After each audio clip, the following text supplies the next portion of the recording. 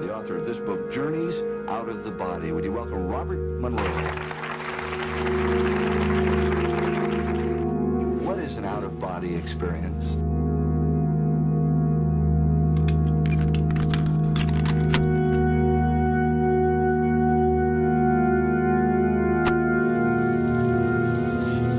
Let's start with this very important question. What is an out-of-the-body experience? What is it? Well, it's best described as a state of consciousness awareness that does not depend on physical sensory input,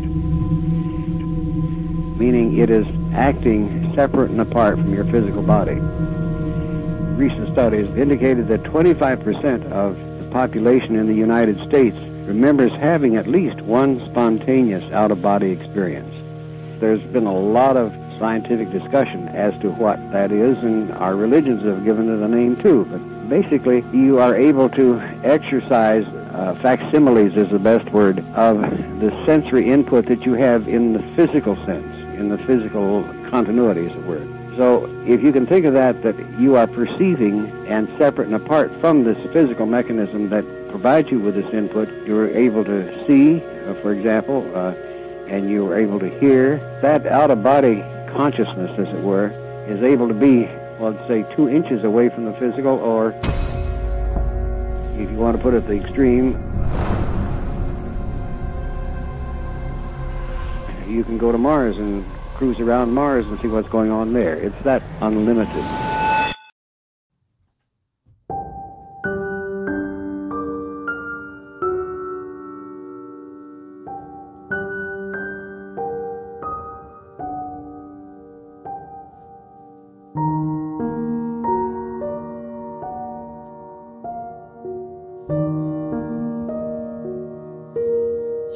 Welkom weer bij eh, Dutch Matrix, de illusie van onze realiteit. Superleuk dat je weer kijkt. Jaar is net begonnen en eh, ook deze aflevering wordt, wordt echt weer knallend. Eh, we hebben vandaag in het huis een, voor mij een bijzonder persoon, omdat die met dingen bezig is die te linken zijn ook aan onze onderwerpen. En waar ik echt absoluut niet bekend mee ben. Zijn naam is Rolf Nuits.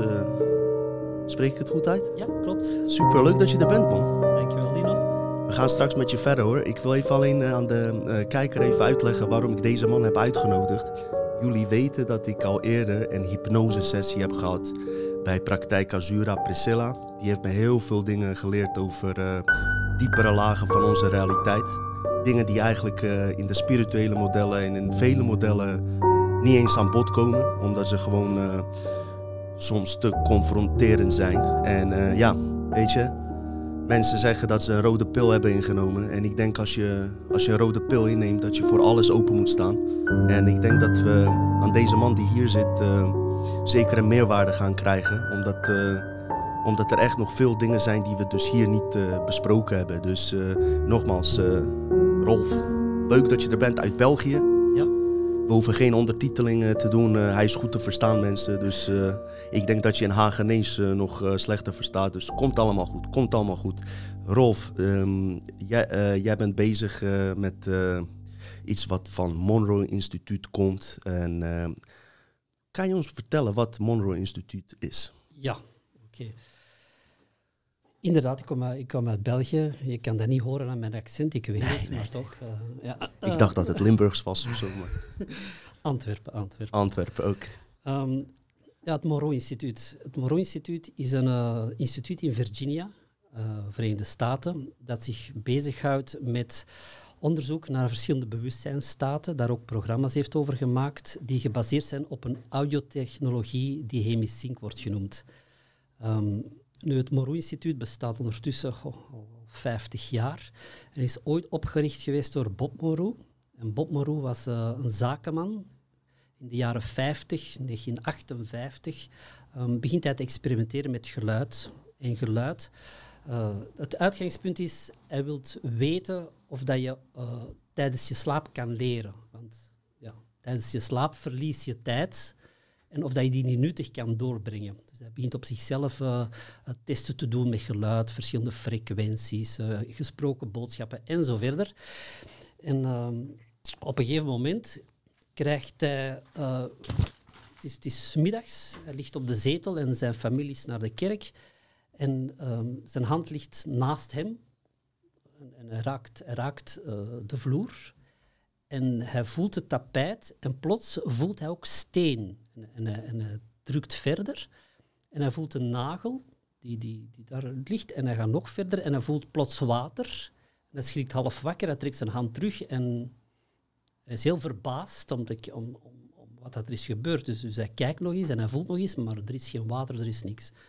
Hij gaat toch verder met zijn experimenten en op een gegeven moment op een... eh, zaterdagnacht, geloof ik dat was, eh, is hij aan het dromen en hij is aan het denken van, goh, ik ga morgen zweefvliegen. Is met een vriend, dat gaat aangenaam zijn, dat gaat leuk zijn. En hij bevindt zich, op een gegeven moment wordt hij half wakker en hij voelt iets hard tegen zijn schouder. Hij denkt van, wat is er gebeurd? Ik ben toch niet uit mijn bed gevallen, want normaal is er tapijt, dat kan niet. Ehm, en hij voelt verder met zijn hand. En op een gegeven moment eh, voelt hij de, de luchter. In Nederland de luchter, in België de luster. eh, voelt hij, dus, dus een lamp. En hij zegt, ja, dat kan helemaal niet, want, dat is het plafond. Dus hij doet zijn ogen open en hij kijkt naar het plafond. Hij zegt van, hoe- hoe kan dat? Hij draait zich om en zo, ja, hij schrikt enorm, want hij ziet zijn vrouw in bed liggen met een vreemde man. Hm. Hij schrikt nog veel meer wanneer hij merkt dat hij die vreemde man is. Hij is de man. Dus hij klauwt terug naar zijn lichaam en hij komt daarin. Hij is helemaal overstuur, want hij heeft zijn eerste bewuste buitenlichamelijke ervaring gehad. Hij weet niet wat hij er moet doen, want het is, het is een zakenman, een zeer succesvol zakenman. Het is 1958, hij heeft een gezin, hij heeft, heeft verschillende businesses en eh, hij weet niet wat hij moet doen. Dus hij denkt van, ja, ofwel ben ik dodelijk ziek, heb ik een of andere tumor, ofwel ben ik gek aan het worden. Een van, de een van beide. Ze gaan naar een dokter, naar een vriend van hem, ehm, laat zich onderzoeken. Die zegt, ja Bob, eh, je bent volledig in orde, je hebt geen tumor. Als Bob, yes, dan moet ik gek zijn, ik kan niet anders. Eh, dus hij gaat ook naar eh, een psychiater, ook een vriend van hem, laat zich onderzoeken. Die man zegt, ja maar Bob, je bent zo normaal als, als, als dat, dat de meeste mensen zijn.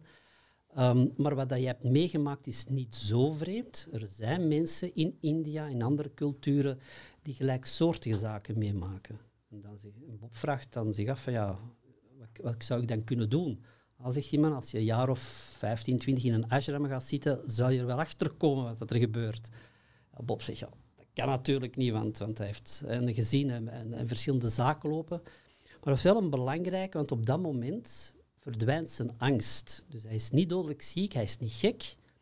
En op dat moment neemt de wetenschapsman, eh, de onderzoeker, neemt het over. En hij begint zijn eh, buitenlichamelijke ervaring, wat hij heeft meegemaakt, begint hij eigenlijk zeer nauwgezet wetenschappelijk te onderzoeken. En, en als resultaat, om een lang verhaal kort te maken, eh, uit al zijn onderzoekingen komt er een audiotechnologie, ontwikkelt hij een audiotechnologie, Hemisync, die ervoor zorgt dat je in verschillende bewustzijnstaten op een zeer snelle manier kan geraken. Oké. En eh, er zijn veel mensen op de wereld die dat meemaken. Ja. En kan je ons vertellen eh, wat hem eigenlijk bijzo- bijzonder maakt dat jij daar, eh, zeg maar, ook daar een ja, verre op hebt geborduurd, als het ware? Ja, dus voor mij, goh, dat is eigenlijk gekomen. Ik ben er zelf mee in contact gekomen. Ik heb altijd in, in het bedrijfsleven gewerkt. En op een gegeven moment, eh, ik werkte ondertussen, ja, al bijna twintig jaar geleden, ik werkte voor Microsoft. Eh, voor onze, bri- Voor eh, Bill Gates. ja, onze vriend Bill Gates. Ehm, en, eh, Werkte, hè, mensen? niet, niet, zeuren meteen. een collega, een collega eh, van mij, die wou een business met mij starten. En ik, op een gegeven moment eh, zei ik van ja, ik ga dat toch niet doen. Ik ben met andere zaken bezig. En out of the blue begon die van, eh ah, zoals met buitenlichamelijke ervaringen. Ik zei, "Oh, oh, oh, ik had er al van gehoord, maar ik was er niet mee bezig. En die, heeft mij, die zei toen van, ja, heb je ooit gehoord van Bob Moreau? Die heeft boeken geschreven. Ik heb dan eh, heeft drie boeken geschreven. Ik heb die boeken gelezen. Ik dacht van, wauw, als dit waar is, dat zou enorm veel verklaren ook wat wetenschapsmensen zeggen, wat, wat in de, eh, filosofen hebben gezegd, de re- religie zelfs. Het, het, het maakt het levend, het maakt het echt. Ehm, en diezelfde man zei van ja, ik heb hier ook opnames. Als je wilt, kan je eh, eens naar luisteren. En na de vijfde of zesde opname kreeg ik zelf een bewuste buitenlichamelijke ervaring. Dus ik dacht van wauw, het is waar, het klopt. En voor mij was dat eigenlijk zo'n zo'n belevenis, ehm, die er heeft voor gezorgd dat alles wat ik daarvoor had onderzocht, eh, de klassieke zaken van hè, waarom leven wij, hoe zit het hier in elkaar, eh, wat kom je hier doen, eh, noem maar op, werd eigenlijk levend en, en achter die informatie kon je zelf komen door in die andere bewustzijnsstaten te gaan exploreren, te gaan onderzoeken en voornamelijk te gaan ervaren.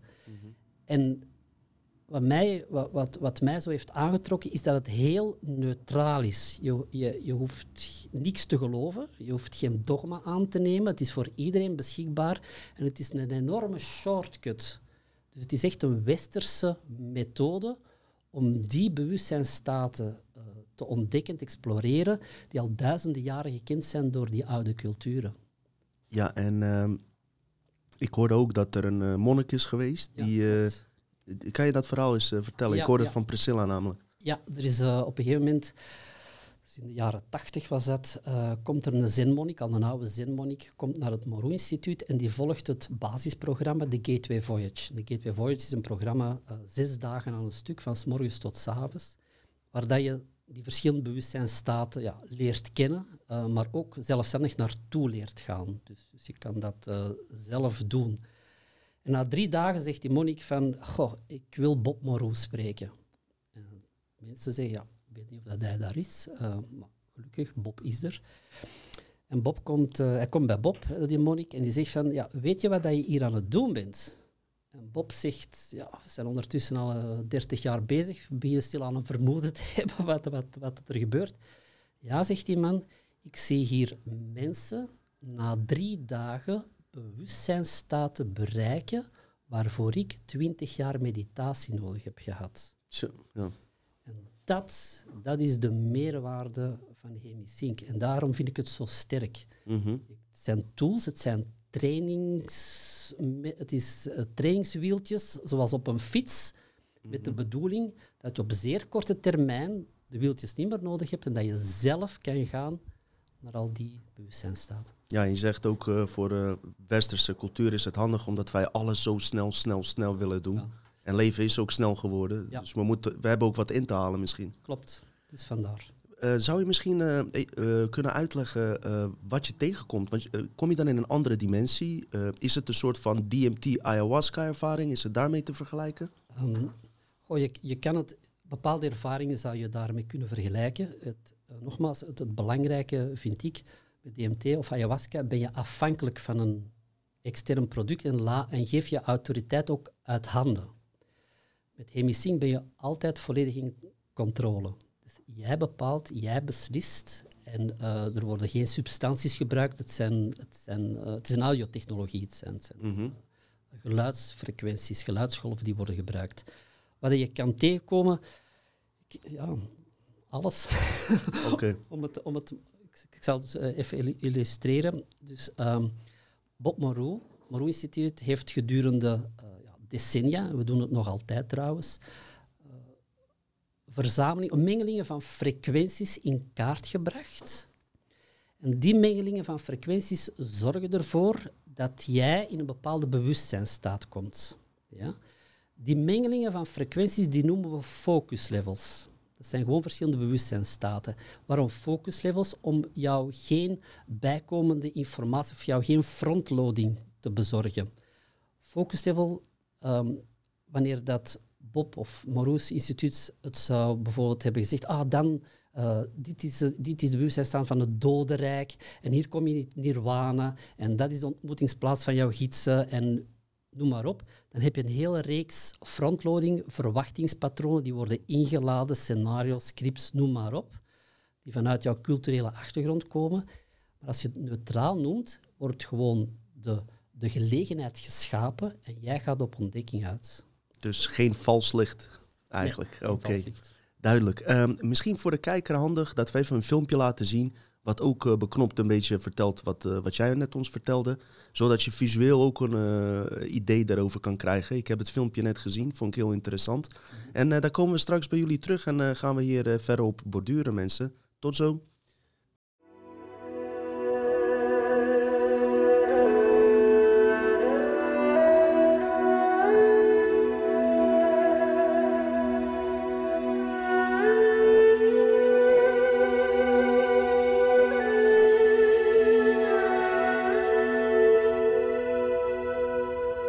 I'm Garrett Stevens, Chairman of HemiSync.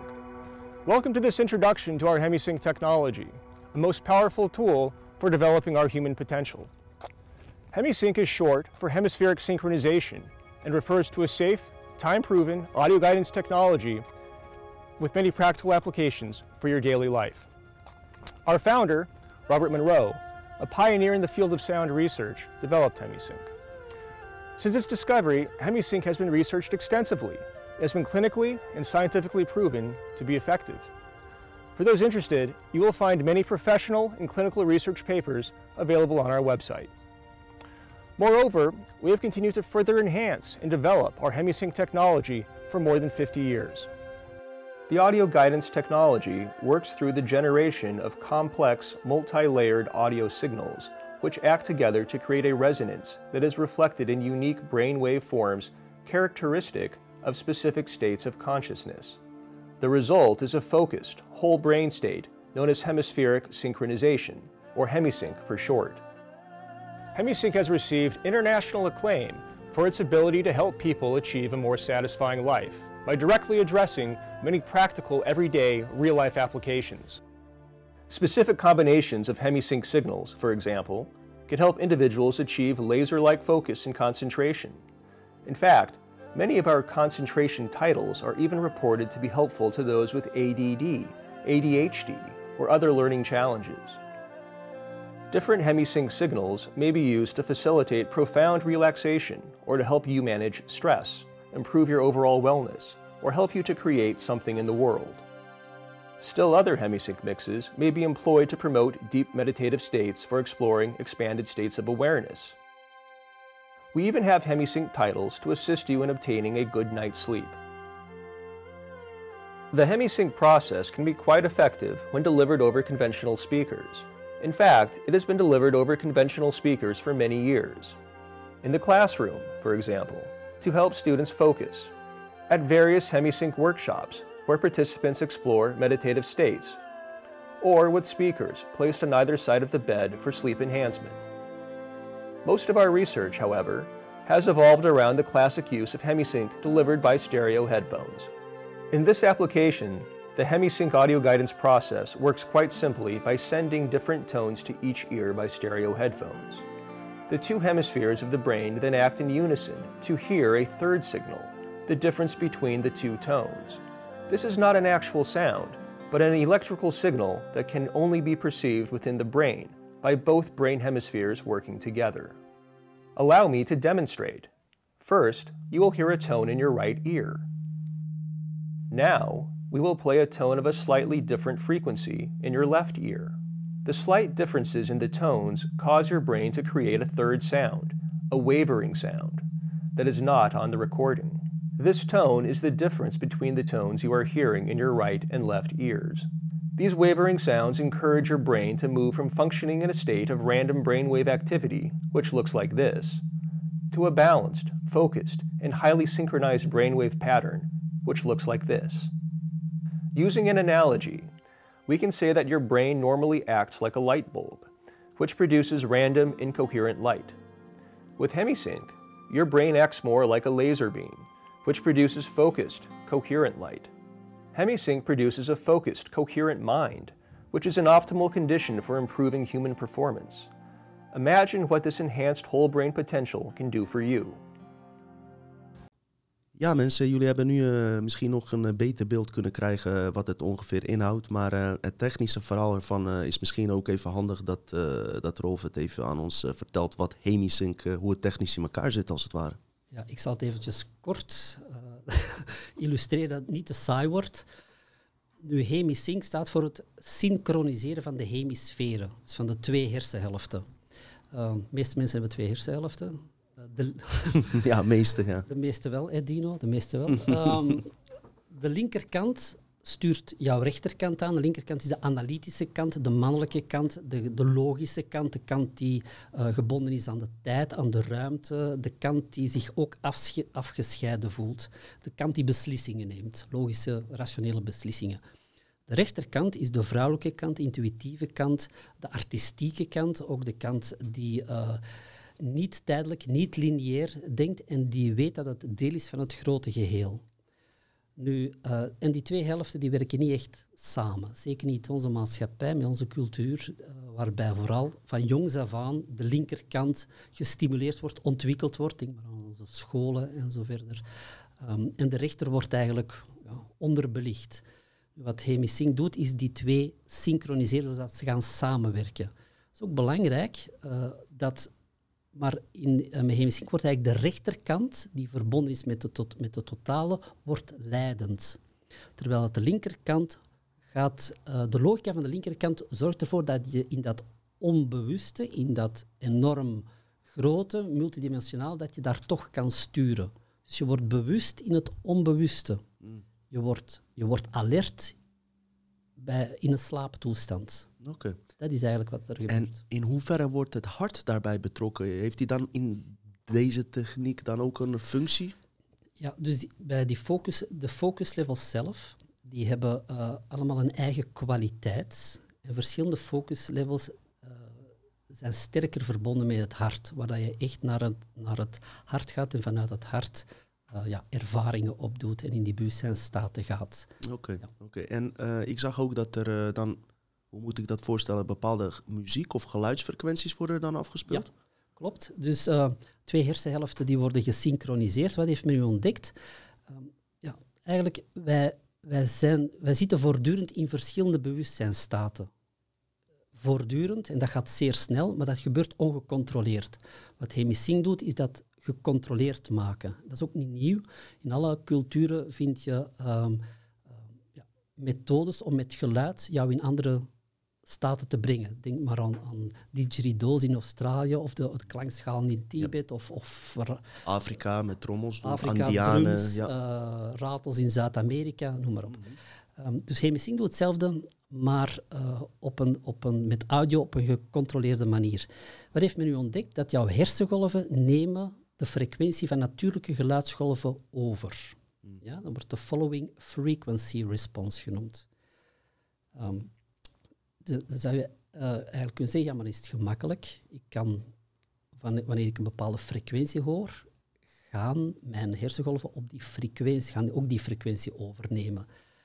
Uh, en die hersengolven die zijn in kaart gebracht wetenschappelijk. Je hebt um, ja, beta, dat is nu, je bent alert, je bent hier.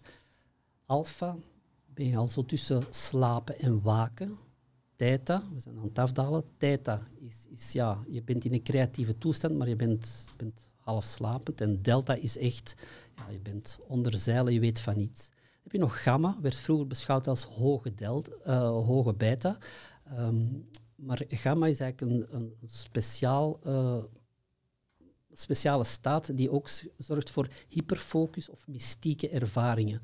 En gamma heeft ook het, het, het potentieel, de eigenschap als je dat combineert met andere uh, geluidsgolven, uh, dat het herinneringen die in jouw onderbewuste zitten en dat je vergeten bent, dat ik kan die terug naar boven halen. Mm -hmm. Combinatie. Okay. Dus, uh, dus, maar dan zou je kunnen zeggen, en die hebben, daar horen allemaal frequenties bij. Hè. Bijvoorbeeld delta zit tussen de half en de 4 hertz. En zou je kunnen zeggen, zoals ik er juist zei, van, ja, maar als ik wil slapen, laat mij 4 hertz hertz horen, mijn hersengolven nemen dat over en ik val in slaap. Helaas, zo eenvoudig is het niet, uh, want het menselijke gehoor zit tussen de 20 en de 20.000 hertz. Okay. Dus 4 hertz hoor je niet.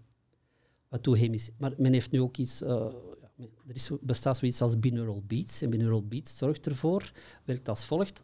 Stel dat je 100 hertz in één ho hoor laat uh, horen en 104, dat is maar een voorbeeld in het andere dan nemen jouw hersengolven als frequentie het verschil aan. Dus 100 en 104 wordt 4 hertz. Oh, ja. Met andere woorden, het onhoorbare wordt hoorbaar. Oh ja. En dat is de poort naar die andere bewustzijnstaten.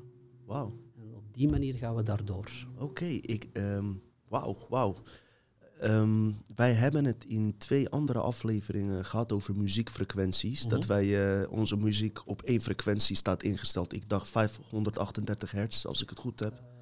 Uh, ik iets weet het niet zeker. Ja, Dus de natuurlijke frequentie is 532. ja, maar in de muziek is het dan Is eh, het- omgezet. is naar, omgezet naar ik weet niet meer welk getal het was. 540 of 544 of zoiets. Ik geloof dat het in de 40 was. En wij hebben dat behandeld in hoeverre dat bewust is gedaan om ons in een eh, bepaalde frequentiestand als mensheid te zetten. Klopt. Ik weet niet ehm, eh, of je weet wa- wat de reden is dat we alleen via één frequentie alle muziek horen.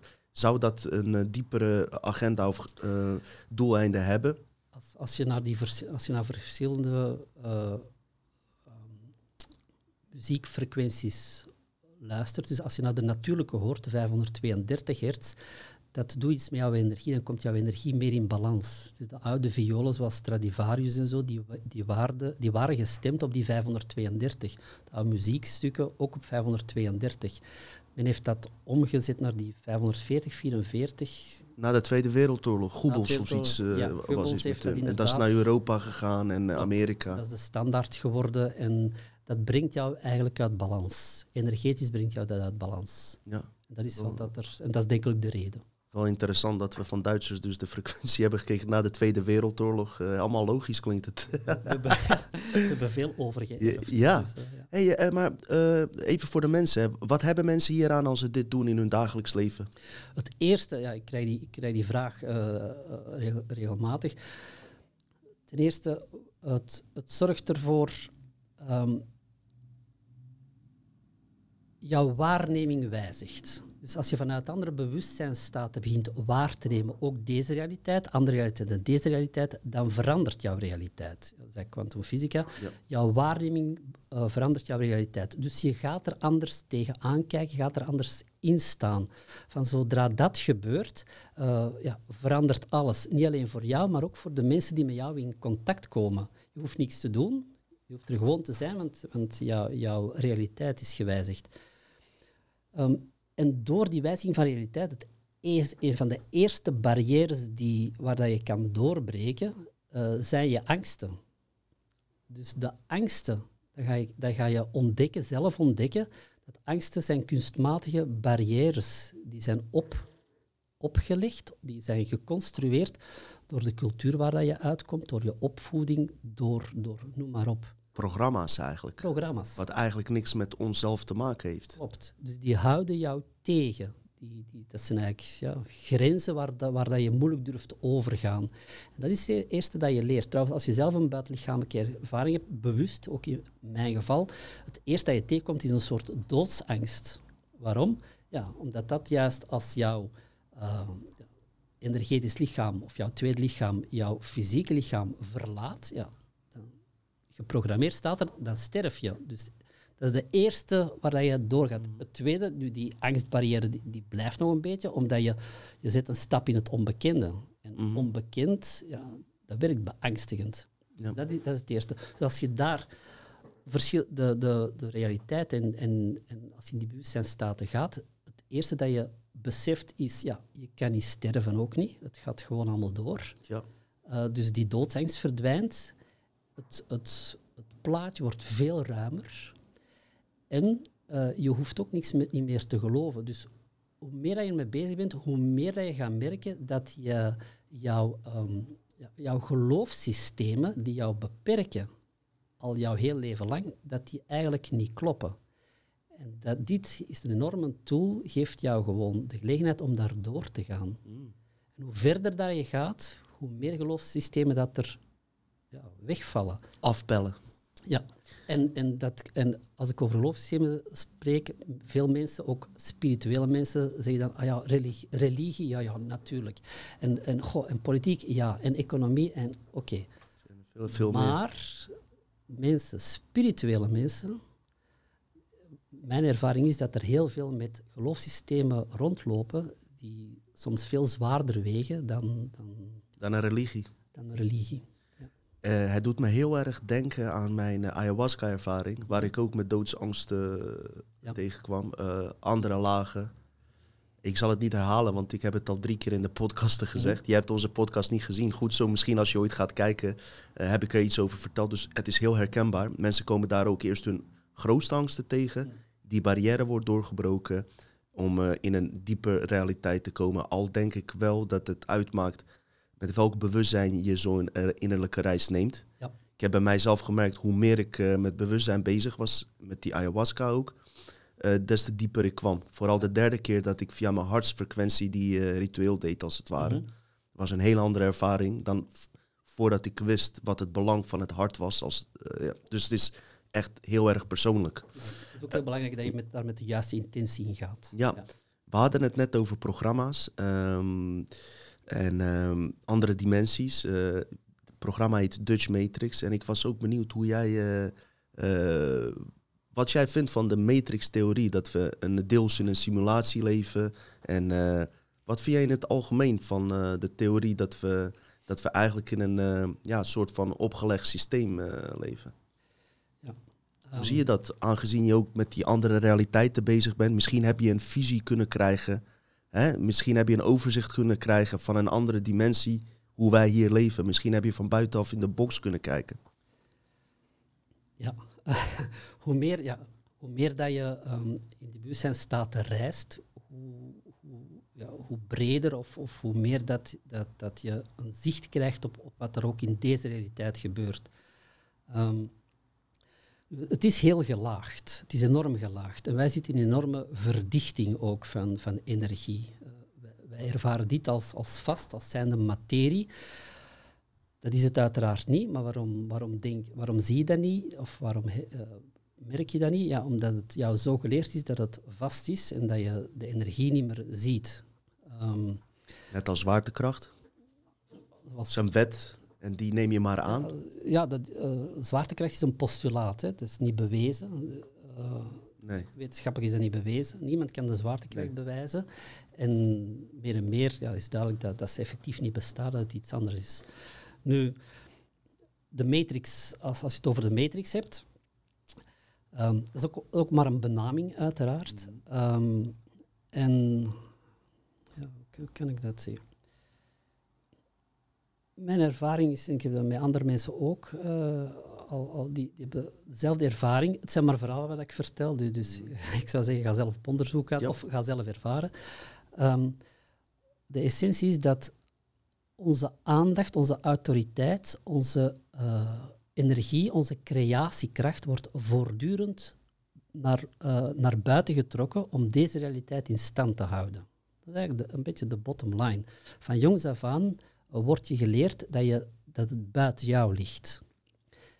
En eh, je wordt opgevoed door, door eh, jouw ouders, die het goed menen met jou over het algemeen uiteraard, die ook maar napraten wat dat zij hebben geleerd en die dus ook heel de constructie mee in stand houden op die manier. Dus het is een lijn van, van, van opvoeding, ehm, van, eh, van, van gezagsdragers of, of, of figuren die jij als autoriteit beschouwt, die voortdurend jouw wereldbeeld modelleren, bepalen en dat je bewust en onbewust jou daar aan onderwerpt en jouw kracht, creatiekracht, daaraan weggeeft. Nu, ehm, wat is het systeem daarachter?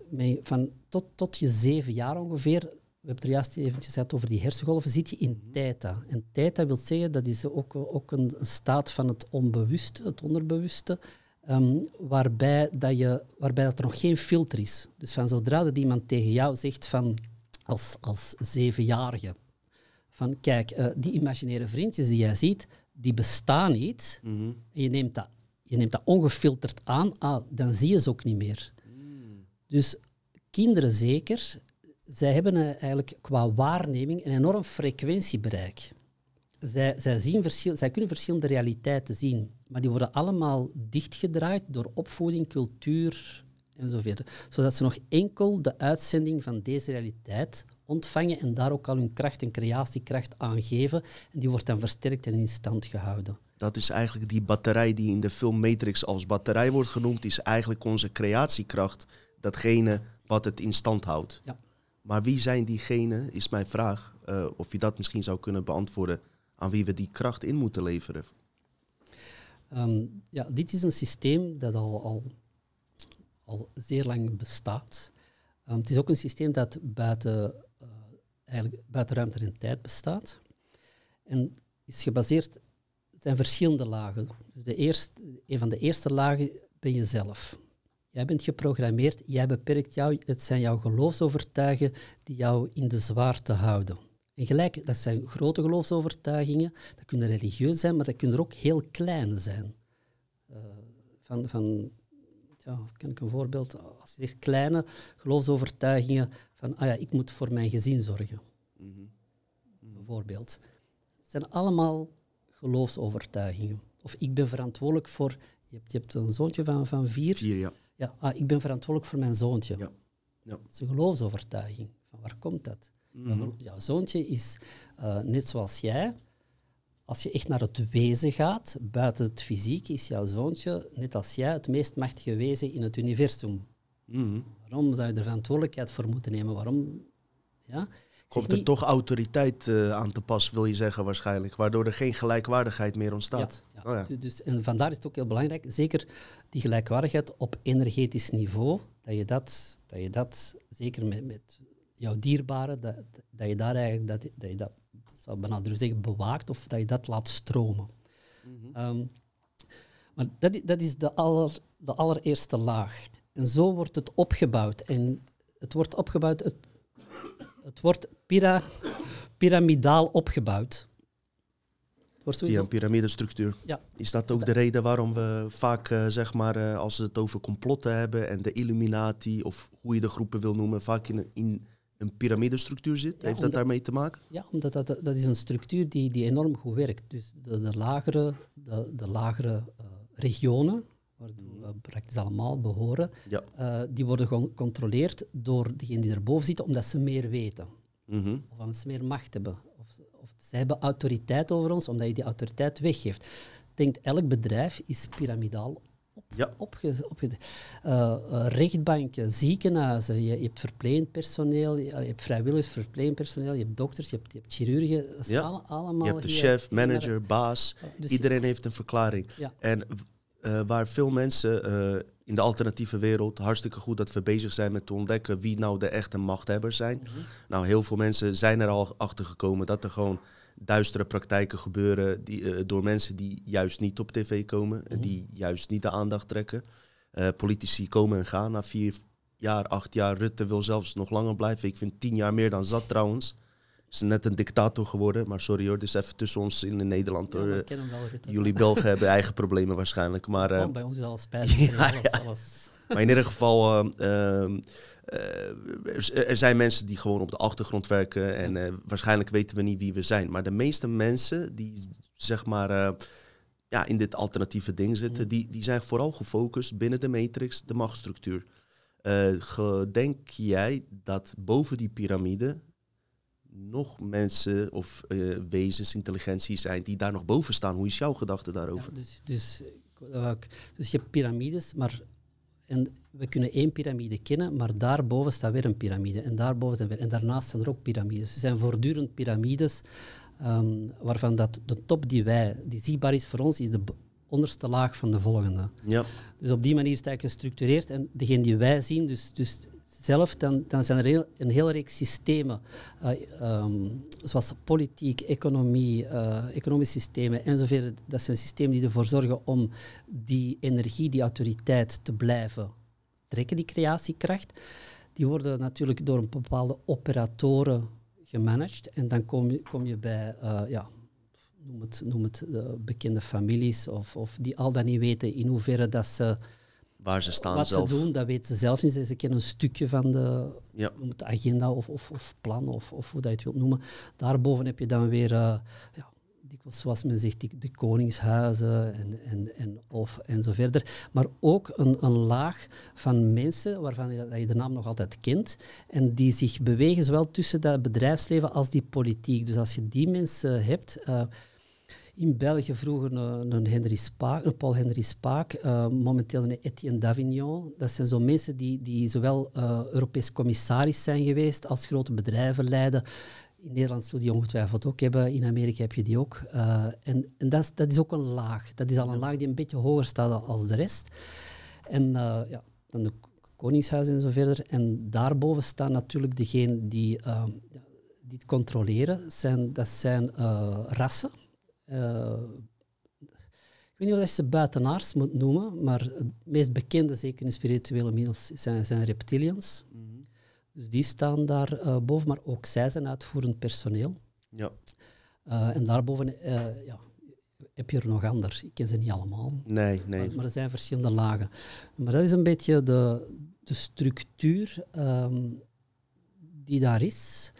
Um, met dat gegeven dat, dat, het, dat het, het piramidale, dat dat een heel gemakkelijke structuur is om te knechten en om mensen hun vrijheid te beroven. Ja.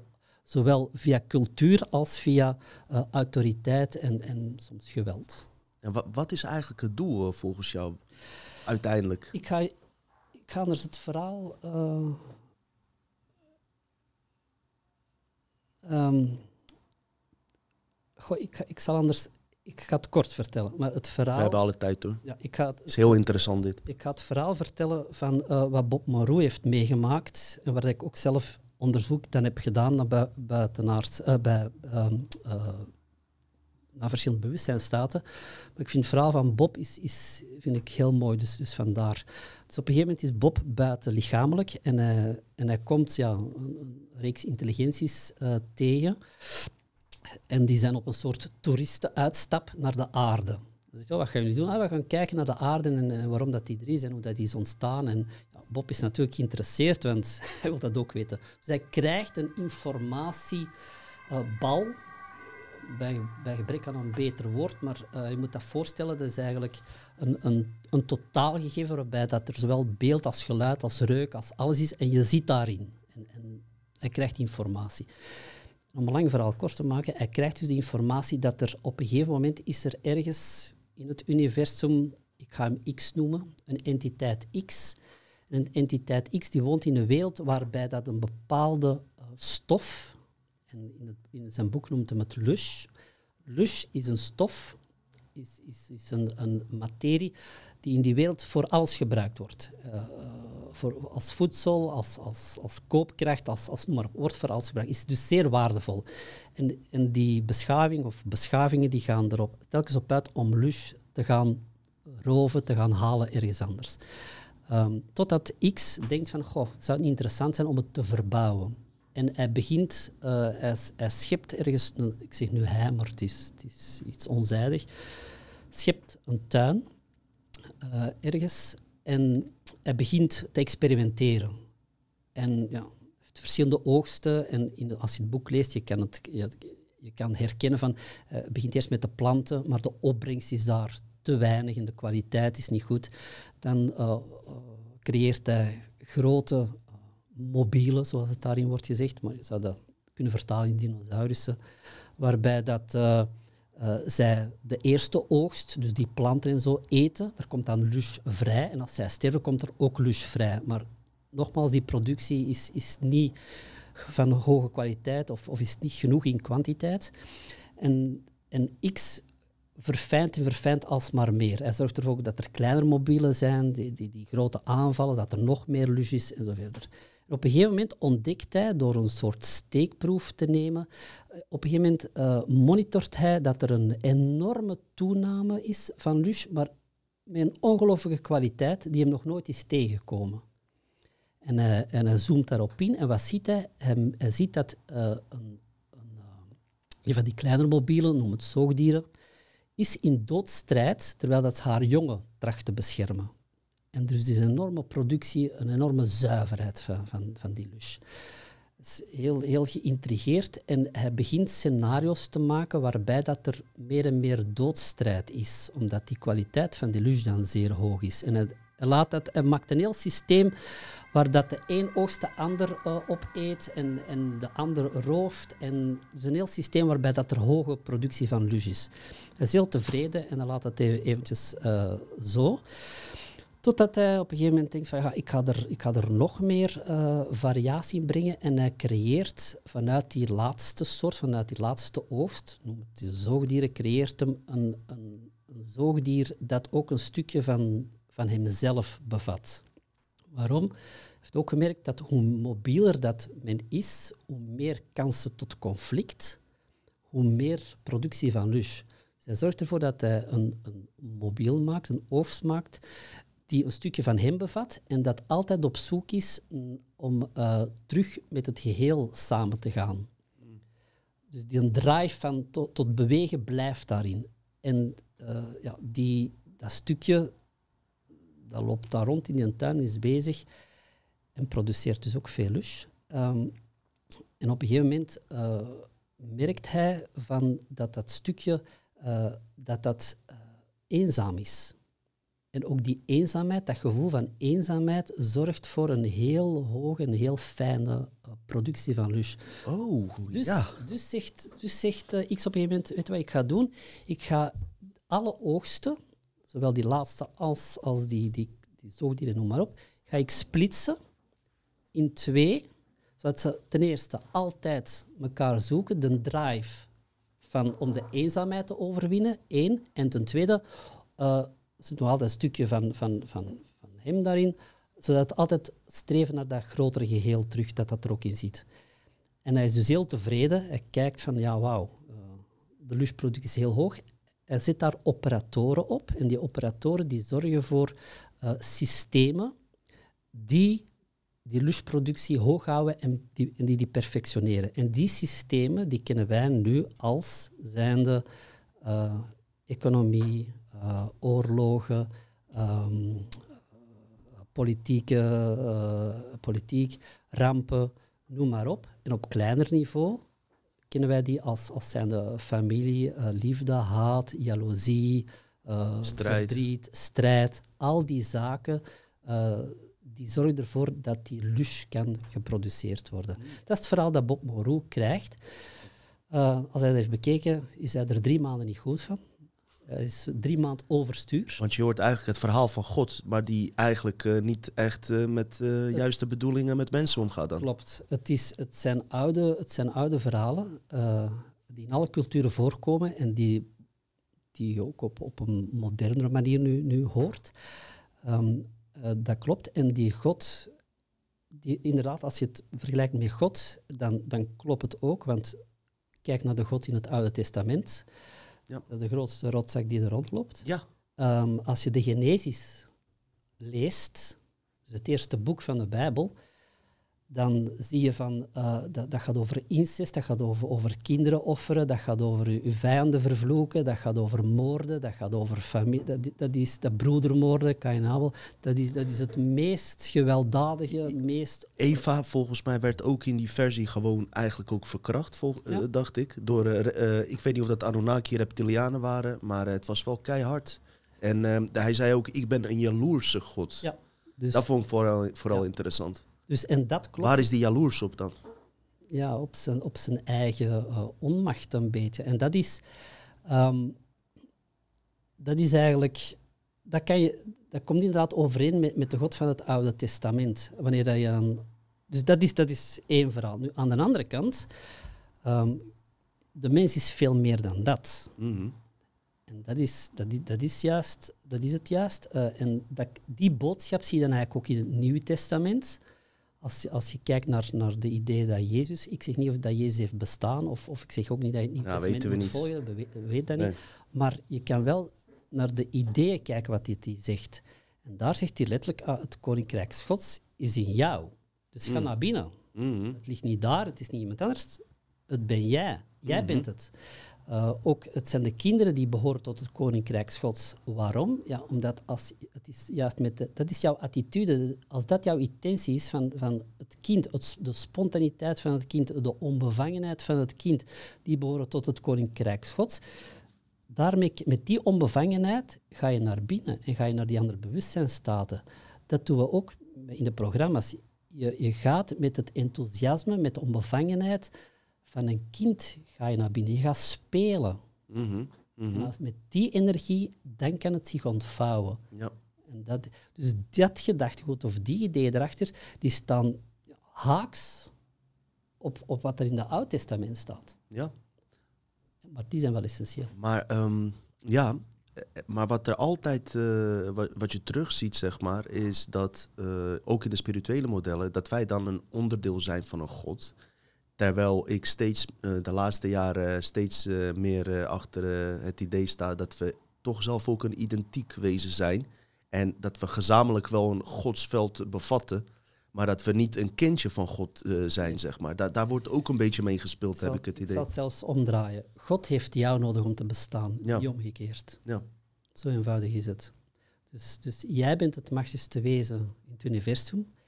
Ehm, dan, dan, spreek ik niet vanuit de persoonlijkheid of vanuit het ego, maar vanuit het wezenlijke, jouw verbinding met, met, met het zijn ook maar woorden, hè, met, met de bron of het, of het eh, universeel veld van creatie, of, of hoe dat je het ook wilt noemen. Mhm. Ehm, maar, maar dat stukje, dat, is, dat, is, dat, is, dat, dat, is- dat maakt ook jouw wezen uit. En het is dat wezen dat het machtigste is. Daar kan niks tegenop. Ja. Het zijn alleen lagere entiteiten of lagere energieën die jouw energie nodig hebben om zelf te bestaan. Mhm. Zoals een god. Mhm. En ik zal al een van de spirituele dogma's ook een beetje doorprikken, maar iedereen doet ermee wat hij wil. Tuurlijk. Zoals de engelen. Engelen, als je in contact komt, kan in contact komen met engelen eh, in andere bewustzijnstaten, die hebben jou nodig. Dat zijn lagere wezens. Mhm. Dus als een wezen de externe energie nodig heeft, is het niet geconnecteerd met het oorspronkelijk veld en is het eigenlijk een lager wezen. Zonder veroordeling, hè? Zonder, zonder te oordelen, zonder Mhm. ook te zeggen dat lager slechter is of zo. Nee. Het is, het is maar, het zijn maar woorden. Ehm, maar zij zijn afgesloten en veel van die, merendeel, wil terug ook geconnecteerd worden. En natuurlijk, als jij, jij als geconnecteerd wezen hebt dat vermogen ook om dat te doen. Dat voelen zij ook, vandaar dat ze ook aangetrokken zijn tot jou dikwijls. We zien in, eh, inderdaad in de New Age modellen, in de channel, channelings, misschien kunnen we het daar ook over hebben, dat er heel vaak eh, aartsengel Michael komt, Ja. Ashtar groepen, eh, noem maar op. In hoeverre eh, is het de mogelijkheid dat het een, eh, gewoon een softwareprogramma is ook? Of zijn het ook, eh, is, wie is aartsengel Michael volgens jou? Ja, tuurlijk. Dus, dus dat zijn. eh, goh. Wacht, het zijn verschillende dingen te samen. Je hebt, je, hebt, je hebt channeling ten eerste. Ja. Channeling bestaat. Channeling is gewoon dat je in contact komt met, met, met een andere entiteit of intelligentie en die via jou, dat je daar informatie van krijgt. Ten eerste, je hebt daar geen medium voor nodig. Je kan dat zelf. Je kan zelf in contact eh, gaan. Eh, ten tweede, zeker bij channeling, ja, als, je, als je je autoriteit weer weggeeft en er wordt gechanneld, je weet niet wat dat je channelt. Je kent de bedoelingen niet van die intelligentie, je weet niet waarom dat ze bepaalde dingen zeggen. Eén criterium dat ik altijd voor mezelf, en dat ik ook altijd zeg, is van kijk goed naar wat er gezegd wordt of wat dat je voelt. Trekt het energie van jou of niet? Zegt het iets dat je moet doen of niet? Jouw oorspronkelijke zelf, jouw totale zelf bijvoorbeeld, zal jou nooit iets opleggen, zal nooit iets zeggen wat je moet doen, zal jou, zal jou nooit compromissen opleggen. Dus van zodra dat je voelt dat daar iets gebeurt, dan klopt het niet. Ik zal een voorbeeld geven. Ik heb ooit ehm, tijdens de Gateway, gaat dus naar die verschillende bewustzijnstaten, en in een van die bewustzijnstaten is, is, is eh, dat is net voordat je overgaat eh, als je sterft, maar dat is er nog net voor. En dat is ook een, level waar dat je eh, ja, je totaal zelf kan ontmoeten en, andere entiteiten en noem maar op. En ook in andere dimensies kan reizen. Ik, een van de deelnemers kwam uit die sessie en zei van, goh, nu weet ik waarom dat ik leef. Ik ben in contact gekomen met, met, wezens en die hebben gezegd van, goh, ik ga dat doen, ik ga dat doen, goh, ik, ik heb veel werk. Heb ik ook gezegd van, Ola, wacht even. Ehm, bij de volgende oefening gaan we eens terug. En als je daar terug mee in contact komt, zeg dan van, het eerste dat je zegt van, ja, laat eens zien wie dat je bent. Mhm. Laat eens zien wie dat je echt bent. Want Mhm. het klopt niet dat, dat zij gaan zeggen wat dat jij moet doen. Dat kan niet. Jij hebt je eigen missie die in jou Ja. zit. En jij hoeft verder ook aan niemand te verklaren Nee. of te vragen. Nee, Maar dat wordt wel altijd van ons verwacht. Tuurlijk. En dat is ook van jongs af aan dat, dat je zo wordt opgevoed. Van, ah ja, maar je moet dit of je moet dat. Altijd in functie van iemand anders. Mhm. Maar ook in die spirituele, dat is gewoon een kopie naar de spirituele wereld. Ja. Van, ah ja, maar je moet dat doen. Ah, we moeten de aarde redden. Ah, we moeten... Je moet helemaal de aarde niet redden. Ah ja, maar, maar we moeten... Goh, en ik, ik, kan, ik kan over dood gaan en ik kom overleden tegen en die zijn blijven hangen. En ik moet die naar het licht brengen. Je moet helemaal niks. Daar heb ik het ook over gehad, over dat vals licht na het overlijden. Eh, dat je zeg maar, eh, eh, ja, je hersenen, je onderbewustzijn wordt uitgelezen. Naar je geloofssysteem wordt gekeken wat je in dit leven, waar je voor stond. Naar de aanleiding daarvan wordt er een programma opgezet. Ben je een christen, dan komt er misschien een engel of Jezus tevoorschijn. Bij een persoon die, die niet in God gelooft, komt gewoon het dierbare. En ik heb gehoord dat dat dus ook gewoon een manipulerende eh, programma's zijn. Zou je daar misschien wat over kunnen vertellen, zodat mensen voor het geval dat ze doodgaan, daar iets misschien aan hebben? Voor het geval, ja, ik denk Dat ze een keer doodgaan, wie weet. dat de meeste, de meeste overgaan. Dat is het enige wat we zeker weten, hè? Ja, ja zelfs dat. Zelfs, Is dus zelfs niet zeker. Hoeft niet. Nee. Hoeft niet. Er, Nee. zijn mensen die, die 1300 en 1500 jaar lang leven, dus, dus dat kan ook. Oh, daar wil ik wel wat van horen dan zo.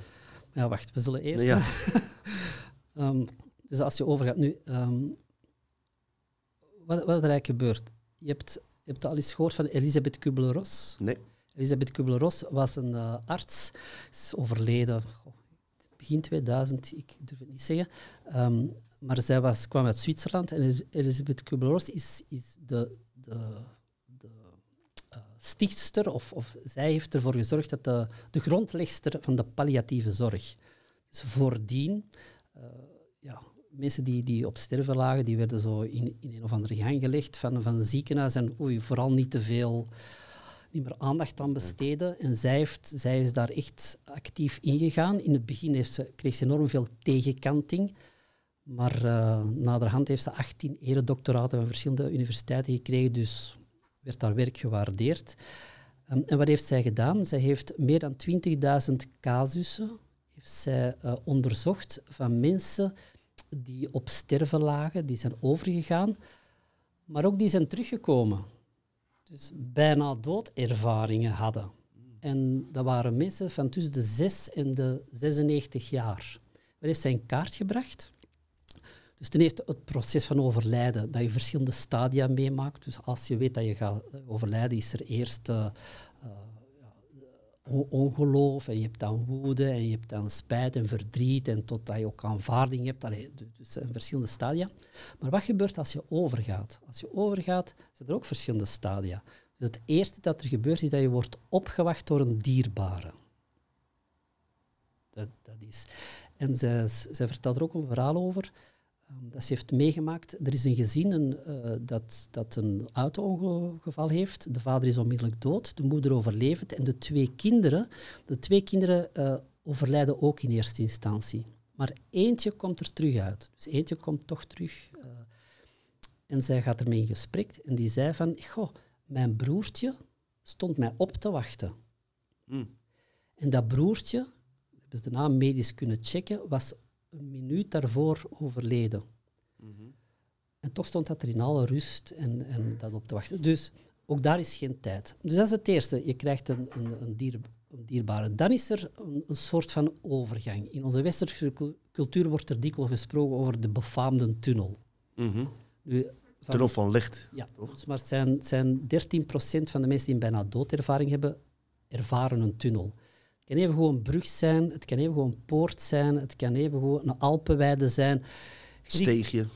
een steegje, de Griekse methodologie, de Styx, Hmm. de, de stroom die je moet oversteken. Oké. Dus je hebt, maar het is een soort overgaan. En een derde fase is een revisie van jouw leven door jezelf. Je, je, je voelt en je kijkt van wat, je, wat je allemaal goed hebt gedaan en slecht hebt gedaan, zogezegd. Dat karma-model, zeg maar. Dat karma-model, ja, noem het karma. En, en dat herbeleef je, wat, dat je, wat dat je anderen hebt aangedaan. Nu, bij mij persoonlijk, als je dat laatste stukje al ziet, dan, dan klopt er al iets niet aan dat systeem. Het is redelijk pervers. En wie heeft het recht om te oordelen over jou wat goed en slecht is. Goed en slecht bestaan niet. Bestaat lichtenergie en zware energie, waarin één tijdperk goed is, is in het andere tijdperk slecht. Bijvoorbeeld als ik jou nu zou zeggen, goh, ik ga straks naar huis en ik hoop dat mijn drie slaven het gras hebben afgedaan en dat ze alles hebben opgekuist en anders krijgen ze geneten. In deze tijd zouden de meeste mensen gechoqueerd zijn dat je dat zegt. Ze zijn nu al gechoqueerd van Zwarte Piet, laat staan. Ja, eh, voilà, dus, ja. dus, dus, maar stel dat ik dat 200 jaar geleden in, eh, in Virginia zou hebben gezegd, normaalste zaak van de zouden ze wereld. mij een sukkelaar hebben gevonden omdat ik maar drie slaven had. Ja, ja, ja. ja. Dus goed en- Tijdsgeest is anders. Ja, dus goed en slecht, dus je kan er niet op beoordeeld worden. Lichtenergie en zware energie wel. Van wat, van wat hangt die licht- en zware energie af? Die zware energie hangt af van de energie die jij besteedt aan jouw geloofssystemen. Dat wordt zwaar. En daar, dat heeft invloed op waar je terechtkomt als je overgaat. Maar goed, we parkeren dat eventjes. Dus we hebben die drie, die, die drie stadia. Dus wat dat je, als je overgaat, als je overlijdt, wat is belangrijk? Zoals altijd, blijf bij jezelf. Het ligt niet buiten jou, het ligt in jou, binnen jou. Hoe blijf je in jezelf? Gewoon door, ja, hoe, dat, hoe dat ik het nu doe, eh, het is een reflex die je ook, die je ook ehm, je, jezelf aanleert als je in die bewustzijn, verschillende bewustzijnstaten bent. In het begin is dat zeer overweldigend. Van, oh, wat gebeurt er? Oh, dat en, oh. Totdat je beseft van, oh, la, wacht even, ik blijf bij mezelf. En als je iemand tegenkomt en zegt van, oké, is goed, mag zeggen en doen wat je wilt, laat zien wie dat je echt bent. Ja. En dan kan men niet anders in die energetische staten dan echt laten zien wie of wat dat ze zijn. Is dat een regel? Of is dat, eh, dat vraag ik me dan af, Dat als de zo. manipulaties zo. groot zijn, waarom zouden ze niet eh, dat ook dan manipuleren? Er- kan alleen maar spreken vanuit mijn ervaring. Ja, ik heb het vaker en- gehoord, dus ik, ik en- zie daar wel wat in. anderen die ik ken, en dat klopt ook. Ehm, ehm, dus ook dan, ik zal nog even, als je overgaat, blijf bij jezelf. Dus ook als je die dierbare ziet en je mag gerust zijn, dat kan enorm aanlokkelijk zijn. Je kan dat voelen, je kan dat zien, je kan ruiken. Dat is van wow. Ja, Ook dan blijf bij jezelf. En ook als die dierbaar is, dat je zegt van oké, is tof dat je bent. Ben je dat echt? Laat eens zien wie dat je echt bent mhm. als die persoon of als die, die intelligentie die daar is, dat blijft, dan oké. Meestal zal die dan voor de tunnel of voor de overgang staan. waarom voor? Van zodra dat je door eh, een tunnel gaat of de overgang gaat, kom je terug in, het, in de matrix. Mm, Of dan, nee, dan blijf je in de matrix, ik zal het zo zeggen. ja, en dat is eigenlijk de bedoeling van de intelligenties, om ons in een karma loop te houden, zodat we weer hier incarneren? Ja, nu een karma loop, nogmaals, dat is dan het tweede dogma dat we Komen we even- straks nog op terug. zeggen. Karma bestaat niet, hè? Ik geloof er ook niet in, maar eh, veel spirituele modellen die eh, geloven daar wel in, met oorzaak en gevolg. En eh, Ja. dat we nog in het tweede leven nog iets moeten herstellen van dit leven. Nee, dat is, dat is flauwekul. Kan je misschien uitleggen ook waarom je dat vindt? Wacht, maar... Wat We gaan naar die eerste. Maak die eerste maar eerst af. Ja hoor, rustig aan. dus, dus, als, als je, dus vandaar dat ik zou voorstellen, ehm, dus met dat licht en zo, men heeft jou zo opgevoed dat je het, en heel onze maatschappij, van je zoekt het buiten jezelf. Dus ook als je overgaat, die reflex gaat onmiddellijk zijn van, daar is een licht, ah, ik ga daar naartoe. Veel spiritueel zeggen, ga naar het licht. Mhm. Alsjeblieft, ga niet naar het licht. Eh, keer in jezelf. En keer in jezelf wil ik, eh, is, ga, ga naar binnen, hart, ga ja. naar wezen, ga met jouw intentie naar jouw hart, naar jouw wezen, naar, naar het contact met jouw totale zelf. En daar ligt een doorgang. Dan kom je niet opnieuw in het systeem. Dus als je wel door die lichten of die overgang gaat, kom je bij die revisie. De revisie, daar worden jouw herinneringen van dit leven gedownload, met alle miserie die, die erbij is. Mhm. Ja? Chantagemodellen ook. Maar, het is allemaal in liefde, hè? Dus het is allemaal, allemaal Ja. dus het is niet, eh, het is Niet van oh, het is, het is allemaal liefde en harmonieus en oeh. Dus, Ja, dat is eigenlijk eh, misleiding. Op high level? Of? Wat is misleiding? Ik bedoel, Ah, ik heb geen zin om er nog een keer hier te incarneren, eerlijk gezegd. nee, dus daarom dat ik zeg van begin, begin zelf die, die staten te verkennen, zodat je Ja. weet wat je gaat doen als je er bent. Ja, ja, ja duidelijk. Kijk, ik heb eh, toen ik eh, dat ontdekte op een gegeven moment, dat de manipulatie eigenlijk na de dood verder gaat, Ja. dacht ik van wauw. En dat is heel eh, lastig voor sommige mensen die eh, spirit 300 spirituele boeken hebben gelezen. En dat hele verhaal van, ik kom nou nog even terug op karma, maar dat we hier lessen moeten, moeten doorlopen. We zijn, wij zijn al die goddelijke of ja, wezens die altijd al bestaan hebben. Wij hebben in principe geen evolutieproces. We hoeven dat niet te doorstaan. Is dat dan eh, bedacht? Ik hoorde van Martijn dat er eigenlijk kunstmatige intelligentie daarboven staat. Die archons, argonten.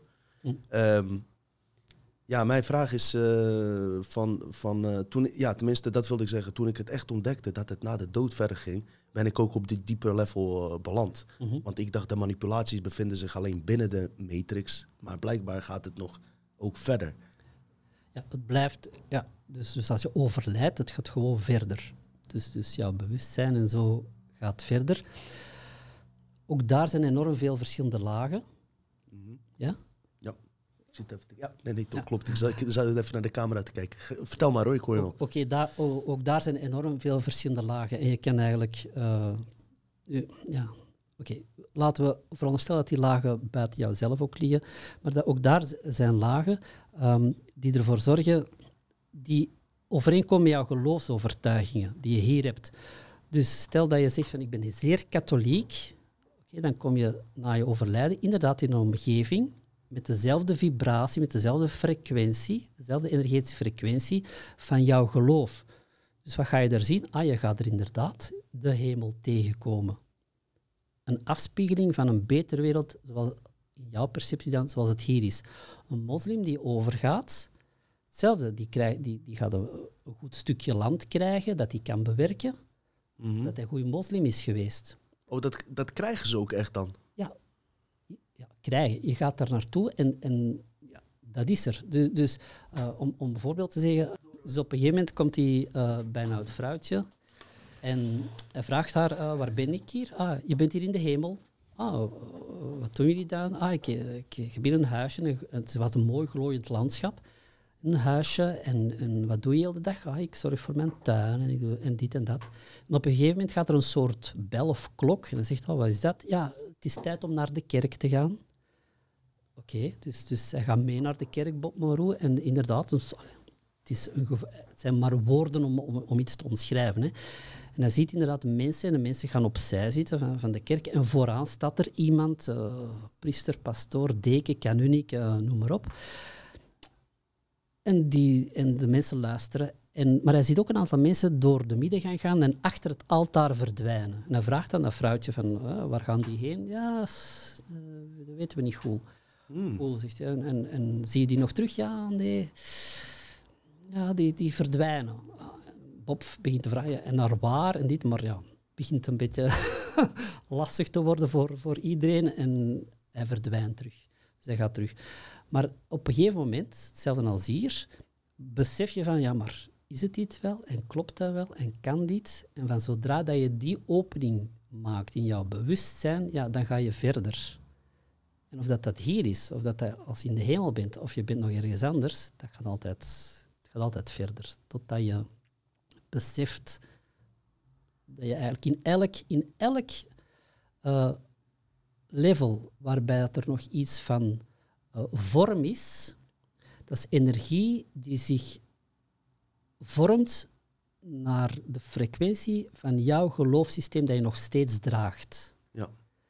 En, en om een voorbeeld te geven, er is een, dus reli- religie zitten in focus level 25. In 26 heb je mystieke, mensen die een bijna doodervaring hebben, of een mystieke ervaring, die zitten dikwijls in 26 of die bezoeken 26 en, en zijn Wat is dat, terug. 26, sorry? Dimensie of Eh, zo? eh, ja, ja, de focus Laag. levels. Oh, Focus levels. Ja. Dus die bewustzijnstaten. Ehm, maar om dat te illustreren, dus de energie die daar heerst, wordt ingevuld door jouw ook culturele achtergrond en geloofssystemen. Bijvoorbeeld, iemand die zeer katholiek is, die zal zeggen van wauw, en ik heb moeder Maria gezien en moeder Maria was heen en al liefde en ze, ze vertelde mij dat het nog geen tijd voor mij was, maar ik moest teruggaan naar de aarde. Heel goed. Als een moslim een bijna doodervaring heeft, dan gaat hij zelden of niet moeder Maria zien, uiteraard. Die kan misschien de profeet Mohammed Ja. zien of iemand anders. Of, of.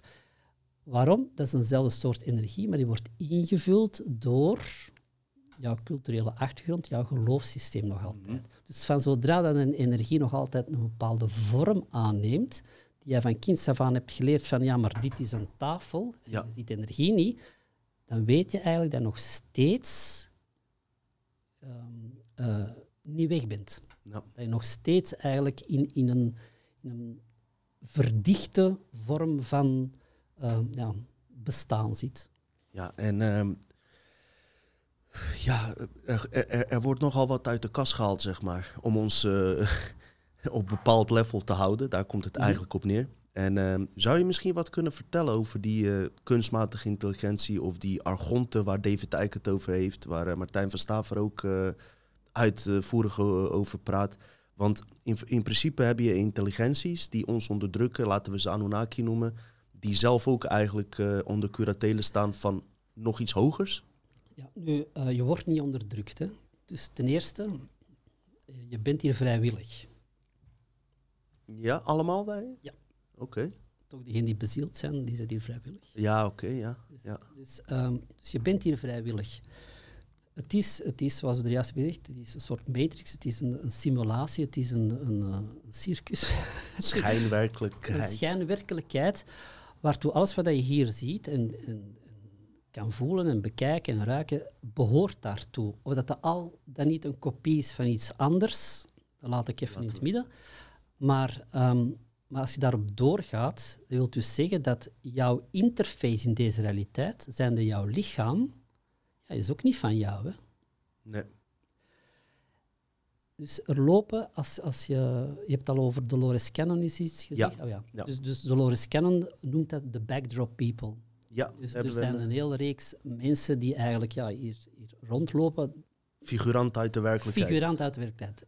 Ehm, eh, de shamanen zeggen dat ook. Dus ik ben ook, ben ook in, in eh, Andes geweest, ik heb met shamanen rondgetrokken en zo. Dus die zeggen dat ook. Dus, Ja? dus eh, dat daar... Non-playable character, nu wordt het Ja. in een NPC in Amerika, is die term naar voren onder jongeren gekomen ook. Klopt. Ja. Ik heb, eh, ehm, ja, ik heb ook, ook, we hebben het al over reptilians gehad. Ik heb, ik heb ooit eens een uit, uitgebreid gesprek gehad met een reptilian. Ehm, Daar moeten we zeker nog even op terugkomen. En ook die mensen die 1500 jaar leven. ja, dat is ook Maar die NPC, hè, de ni- niet bezielde mensen, we hebben daar aflevering Ja, over ja, gehad. dus- ja, dus- zou je daar wat over kunnen Dus, vertellen? dus, dus ook, ook eh, maar ook de, dus die reptilian vertelden mij van die der, het is eigenlijk 30, 70 ongeveer. Of, of, of, dus 30% is wel bezield, wat je ook onder bezield eh, is geconnecteerd. 70, 70% zijn soort robots. Ehm, ik, er zijn vijf of zes bronnen die, die, ik, die ik ben tegengekomen op een gegeven moment op zeer korte termijn, die allemaal die getallen noemden en hetzelfde zeiden. Ehm waar heb ik daar nu opgekomen? We waren erop gekomen dat eh, we zeg maar... ehm, hiervoor hadden we het, even Ah, ja, kijken. ja, ik weet terug. Dus ons, ons lichaam is, is Niet ook, van ons, ja. is ook van Ja. dit. Dus, dus dit is een, is een interface die dikwijls leeg is en die dus hier rondloopt, die mee alles in stand houdt. Eh, maar jij hebt ervoor gekozen als magischste wezen van het universum om jou te verbinden aan dit lichaam. Dus jij bent hier gekomen en jij bent of bewuste mensen zij, zijn de zandkorrels in de machine, zijn de spelbrekers. Want het is een productieproces, het is een fabriek, een productie van Lush. Mhm. En jij bent hiermee al bewustzijn gekomen om de zaken mee te helpen saboteren. Om het Herstellen. eh, saboteren misschien. Ja, toch wel, ja. Wat is Want een het kopiewerkelijkheid? Het is, het is, het is, Het is, ja. dus, dat, dat is, dus met andere woorden, jij bent geen slachtoffer. Mhm. Jij bent de rebel, jij bent de piraat, jij bent, noem het maar op. Mhm. Maar jij bent degene die het hier komt verstoren in de ogen van degene die het productieproces Ze zijn niet erg blij met ons, hè? Nee, maar dat geeft een heel andere invulling aan wat dat er dikwijls wordt verteld van en ze onderdrukken ons en ze doen dit. Nee, ze onderdrukken jou niet. Nee. Jij bent hier juist gekomen om, de- om, om het op te blazen, bij wijze van spreken. Dus, wat doen ze? Alle mogelijke tools eh, en noem maar op. eh, ik, al die geloofssystemen, al die constructies die jou al klein houden. Je kan daar ook tegenwoordig, eh, als, je, als je spreekt over chemtrails of, of over stralingen of, of, of, of noem maar op. Ik ga het allemaal niet invullen, maar neemt wat, wat, dat jou, wat dat jou leuk lijkt. Ja. Ehm, Maar besef eens, als, als men dat allemaal nodig heeft om jou te onderdrukken, hoe sterk ben je dan niet? Ja, daar heb ik, eh, ja. Daar heb ik wel eens over nagedacht. Ja. Dus, eh, dat, dat, dat, dat er zoveel moeite wordt gedaan. En blijkbaar eh, ja, bevatten we toch iets wat bijzonder is. En ehm, om even terug naar die backdrop, NPC's, niet bezielde mensen. Ik zie ook trouwens iedereen als gelijk hoor. En dat maakt je juist eh, een, een, een goddelijk wezen. Maar komt er dan, is dat ook de reden dat je zeg maar dan, eh, als je het hier over deze onderwerp hebt, dat ze, je, dat ze zich totaal niet kunnen vinden hierin, zeg maar, sommige mensen. Tuurlijk. Omdat ze geen referenties hebben uit een eh, ander bestaan. Want wij hebben blijkbaar toch nog herinneringspunten dat we bij onszelf iets hebben van, dit hoort niet zo te zijn, deze werkelijkheid. Het is, het is, eh, het is van zodra dat iemand zich begint af te vragen van, ja maar, klopt dit wel? En wat zegt men nu juist? En waarom ben ik hier? Dat zijn eigenlijk gewoon de, de, ja, de ingangen waar, waar dat je weet van, er, begint iets anders. Het is niet meer helemaal conform het systeem. Er begint iets anders te spelen. Er, er is een, een soort vlam van bewustzijn dat begint te wakkeren, om het zo maar te zeggen, of op te, op te wakkeren. En ehm, ja, daar kan je ook aan onderscheiden van, van de robots en, en de niet-robots. Om het zo maar te noemen, zonder, de, de niet, of zonder de robots te veroordelen. Dus er is geen oordeel over. Hè. Van zodra je begint oordelen, ga je er ook weer eh, eh, energie aan hangen die het verzwaart. Dus dat is niet, het is gewoon een, een, een waarneming van hoe dat de realiteit zich aan jou voordoet. Dat is alles. Ja. Zonder daar gewicht aan te hangen. Er zijn mensen die, eh, die hier een beetje moeite mee hebben als ik het over eh, eh, onbezield of bezield praat. Maar ik heb ze geprobeerd uit te leggen dat, dat er nu tegenwoordig al kunstmatig bewustzijn eh, bestaat. Is door een Duitse arts volgens mij uitgevonden.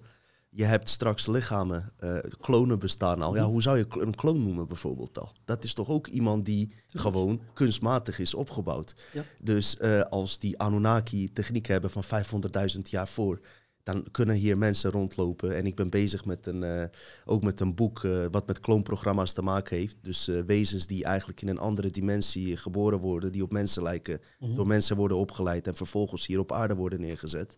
Dat is een beetje de tegenhanger van Dolores Cannon. Want eh, deze man heeft het echt over de duistere ding. Dolores Cannon zat toch meer in een spiritueel hoek, ontdekte ik ook wel, van leerproces. Maar als er klonen kunnen bestaan, dan zou deze theorie dus toch ook makkelijk kunnen kloppen waar we het over hebben. Dat er ook onbezielde mensen zijn die geen oorspronkelijk bewustzijn hebben, maar een kunstmatig bewustzijn. Tuurlijk. Toch hebben mensen er wel moeite mee, eh, maar wie weet over een tijdje dat ze dat eh, misschien na deze aflevering... eh, Je kan het anders over vanuit, je bekijkt alles vanuit wat je kent en van wat je leert. Ja, ik ook uiteraard. Maar, maar het zijn van zodra je andere ervaringen hebt van die bewustzijnstaten, ja, dan, dan heb je een beetje, misschien een beetje meer perspectief, maar ook zeker nog niet alles. Het feit dat je hier zit, ja, je spreekt er juist over een doos, een box. Je zit hier in een doos en de, de randen of de wanden van de doos zijn de, de, de randen, de grenzen van jouw geloofssystemen. En, en je kan er doorboksen, je kan er gaten in maken waar je eens kan kijken van, ah, wat gebeurt daar? Maar je zit nog altijd in die box, want je bent hier nog altijd als mens. ja. als, als in dit lichaam, in deze realiteit, zit je hier ook nog altijd. ja, Dus je kan er nooit helemaal uit eh, of, of, van, of, eh, of, of eh, waarnemen van, van het helemaal volledig vanuit de box. Er is nog altijd een stukje dat hier ook zit. ja. En dat is niet slecht. En er lopen natuurlijk eh, twee realiteiten door elkaar heen. We zijn niet volledig in een simulatie. We zitten toch misschien ook nog voor een deels in onze oorspronkelijkheid via hartfrequentie. Er lopen heel veel realiteiten door, Door elkaar heen natuurlijk, ja. Hey, ik wil wel echt graag weten, eh, er zijn een paar dingen die gewoon heel bijzonder zijn. Eh, mensen, we zijn net begonnen hoor. Dit was een intro hoor. Ja, we zijn één uur en een kwartier verder. Ik denk dat wij zo vier uur kunnen praten. Kan je mij wat vertellen over twee dingen, voordat ik het vergeet? Over die personen die 1500 jaar konden worden. En eh, over eh, je gesprek met, rep- met die reptiliaan Ah, wil ik graag weten. En dan gaan we ook over naar de remote viewing en CIA. Oké, Laten we die drie die, die niet vergeten. oké, is goed. Dit, dit zijn echt de punten dat je denkt van, wow, dat ik zelf, die best wel wat dingen heb eh, gehoord en gelezen. Maar hier stond ik echt, toen Priscilla dit vertelde, dacht ik van, wow, hier wil ik wat meer over weten. Dus we beginnen bij die mensen van 1500 jaar oud. Ja, 1400 mag ook. Dus, eh, ik, ik wil er wel bij zeggen, het meeste wat ik vertel is vanuit de eigen ervaring. Dit, dit, eh, ik heb juist het verhaal van Bob verteld, wat hij hier krijgt, maar dat kan je zelf onderzoeken ook. Mhm. Eh, wat ik nu vertel is ook een ervaring van Bob. Oké, Het is niet mijn persoonlijke ervaring. oké. Maar ik wil het verhaal wel vertellen, omdat het gewoon ook een verbreding geeft van, van hoe dat je naar de realiteit kan kijken. Ja. Dus Bob op een gegeven moment zegt hij van, ja, hè, zijn er nog mensen, andere mensen zoals ik? Ja, zeggen ze. Hè, zijn, zijn toen, ik weet niet hoeveel mensen dat er toen leven op de aarde, maar zeggen er zijn er ongeveer een 6000 zoals dat jij. Maar we hadden nooit verwacht dat jij het, aan de grote klok ging hangen, om maar te zeggen. Ah, zegt Bob, en wie is de meest gevorderde mens op aarde? Kan ik die ontmoeten? En op een gegeven moment gaat hij buitenlichamelijk en hij wordt altijd vergezeld van, van, eh, van, van iemand, eh, of toch gedurende een tijd. En hij komt terecht eh, in een appartement in Duitsland, of all places. Tuurlijk, Duitsland weer hoor. Da weer, Daar weer gebeurt het. Duitsland, daar, daar de bakker met van alles. Ja, Ehm, en, eh, en hij komt in een soort ja, bureau en achter, achter de, de schrijftafel zit een figuur. En eh, hij, kan, hij kan niet onderscheiden of dat ze mannelijk of vrouwelijk is. Dus hij noemt ze he, she. He, she, hij noemt ze oh ja, Bob. ik snap hem. En, ehm, en die figuur is in, in, het, eh, in het blauw en het wit ge, ge, ge- gekleed. Ehm, en, ehm, en die figuur zegt, ah, je hebt er lang over gedaan, ik verwacht je al. Bob, kom het, ja. Ehm, ja, zei Bob, ik, ik, ik zou willen vragen, hè, hoe, lang ben je hier al? En, en zegt die figuur, ja, ik, loop hier al 1500 jaar rond. Of, of 1300 of 1500, ik weet niet. Goh, zegt Bob, ja, wordt dat niet saai dan? Hè, als hier al, eh, ja, nee, zegt hij, want de menselijke ervaring is toch uniek en het is ongelooflijk om, om hier te zijn. Als ik Bob, en eh, wat doe je dan zoal? Ja, eh, overdag ben ik professor geschiedenis aan de universiteit. S'avonds ben ik baarman en s'nachts rijd ik rond met een ambulance. En s'morgens terug professor. Bob zegt, ja, eten, en, och, eten, ja, dat doe ik al een paar honderd jaar niet meer. En slapen, och, dat doe ik ook al eeuwen niet meer. Zo maar te illustreren. Dus je kan energetisch zoveel controle hebben en al je programma's uitwissen of onder controle hebben, dat je inderdaad... Er zijn ook, ook getuigenissen en zelfs wetenschappelijke bevindingen van mensen die geen, geen voedsel nodig hebben, die geen eten nodig hebben. Klopt, van zonvoeden alleen al. En, eh, Ja, dus, dus ze hebben ooit, eh, was een Indi- Indische yogi die, die dat beweerde, en men heeft die veertien dagen lang in een laboratorium gehouden aan de universiteit, zonder eten, zonder iets. En die persoon inderdaad, die, die kon zonder, zonder water, zonder... Bizar hè, is dat? Dat kan, je hebt die, je hebt die kracht, je hebt die, je hebt die macht, iedereen heeft die. Ja. We weten alleen niet hoe dat we Aangeleerd systeem ook, dat eten. Waarschijnlijk als, we. Tuurlijk. als je een kind krijgt, geef hem niet meer te eten. kom, kom door ons, hè? Ja. Nee hoor, grapje, grapje. Nee, eh, niet te veel naar mij luisteren. Hè. In dit geval eh, eh, luister vooral naar, naar mijn gastheer die hele interessante, of naar mijn gast die hele interessante informatie heeft. Even een vraagje. Hè. Hij heeft zeg maar dat wezen ontmoet die 1500 jaar oud was. Was dat dan via die frequenties? eh, of was dat Hij was buitenlichamelijk. buitenlichamelijk? En heeft hij dan ook die persoon in dit echte leven eventueel Ja, kunnen dus- opzoeken? Dus, op een gegeven moment... eh, op een Geef niet hoor. Op een gegeven moment eh, gaat Bob op zoek natuurlijk en hij vindt die ook. Wauw. Hij, hij, vermeldt die, hij vermeldt in zijn boek dat hem die persoon heeft gevonden, maar hij zegt er verder niet Klaar. bij of dat hem in contact is geweest of niet. Dus, dus maar, Dat is wel bizar. hij- ja, hij heeft... Nu, ja, natuurlijk, een Duitse professor geschiedenis, ik denk niet dat er zoveel rondlopen. Nee. Als je dan een beetje verder gaat zoeken, wie dat ook Nou een ja, bar openhoudt of s'nachts met een ambulance rijdt, dan... ja, dat is gauw, gauw te vinden. Ik ken er ook in die is glazenwasser en die geeft, doet ook podcasten en alles. Dus verschil. Ja, dat ben ik zelf. Ah, ja. Nee, hoor. Maar ehm, nee, kijk, voor mij is het niet vreemd. Ik heb die boeken van Dolores Cannon. Ik heb er hier tien liggen. Sommige zijn 700 bladzijden. Eh, ondanks dat ze soms misschien een beetje gemanipuleerd is, heb ik ook echt. Zij heeft me wel naar een level getild, waardoor wij nu kunnen zitten en dat ik gewoon dit ook gewoon echt kan aannemen, zeg maar. Ja. Wat je vertelt. Maar dat, dat, wil ik, dat is goed dat je dat nog zegt, want dat wil ik ook even zeggen. Ehm, het is niet omdat ik er juist zei van ah, Engels, eh, eh, engelen zijn, zijn, zijn lagere wezens of dit of dat. Ik veroordeel dat niet. En als de engelen jou, als dit nu een gegeven is dat, op jou, dat jou op dit moment helpt, ja, Het. Verken het, ja. gebruik het, eh, bekijk het.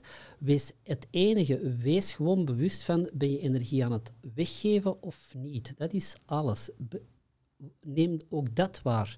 En het, is, het is normaal, je, je, je maakt, je, komt, je wordt hier geboren. Een van de zaken is toevallig dat je je niks niet meer herinnert, dat je in die afgescheidenheid zit.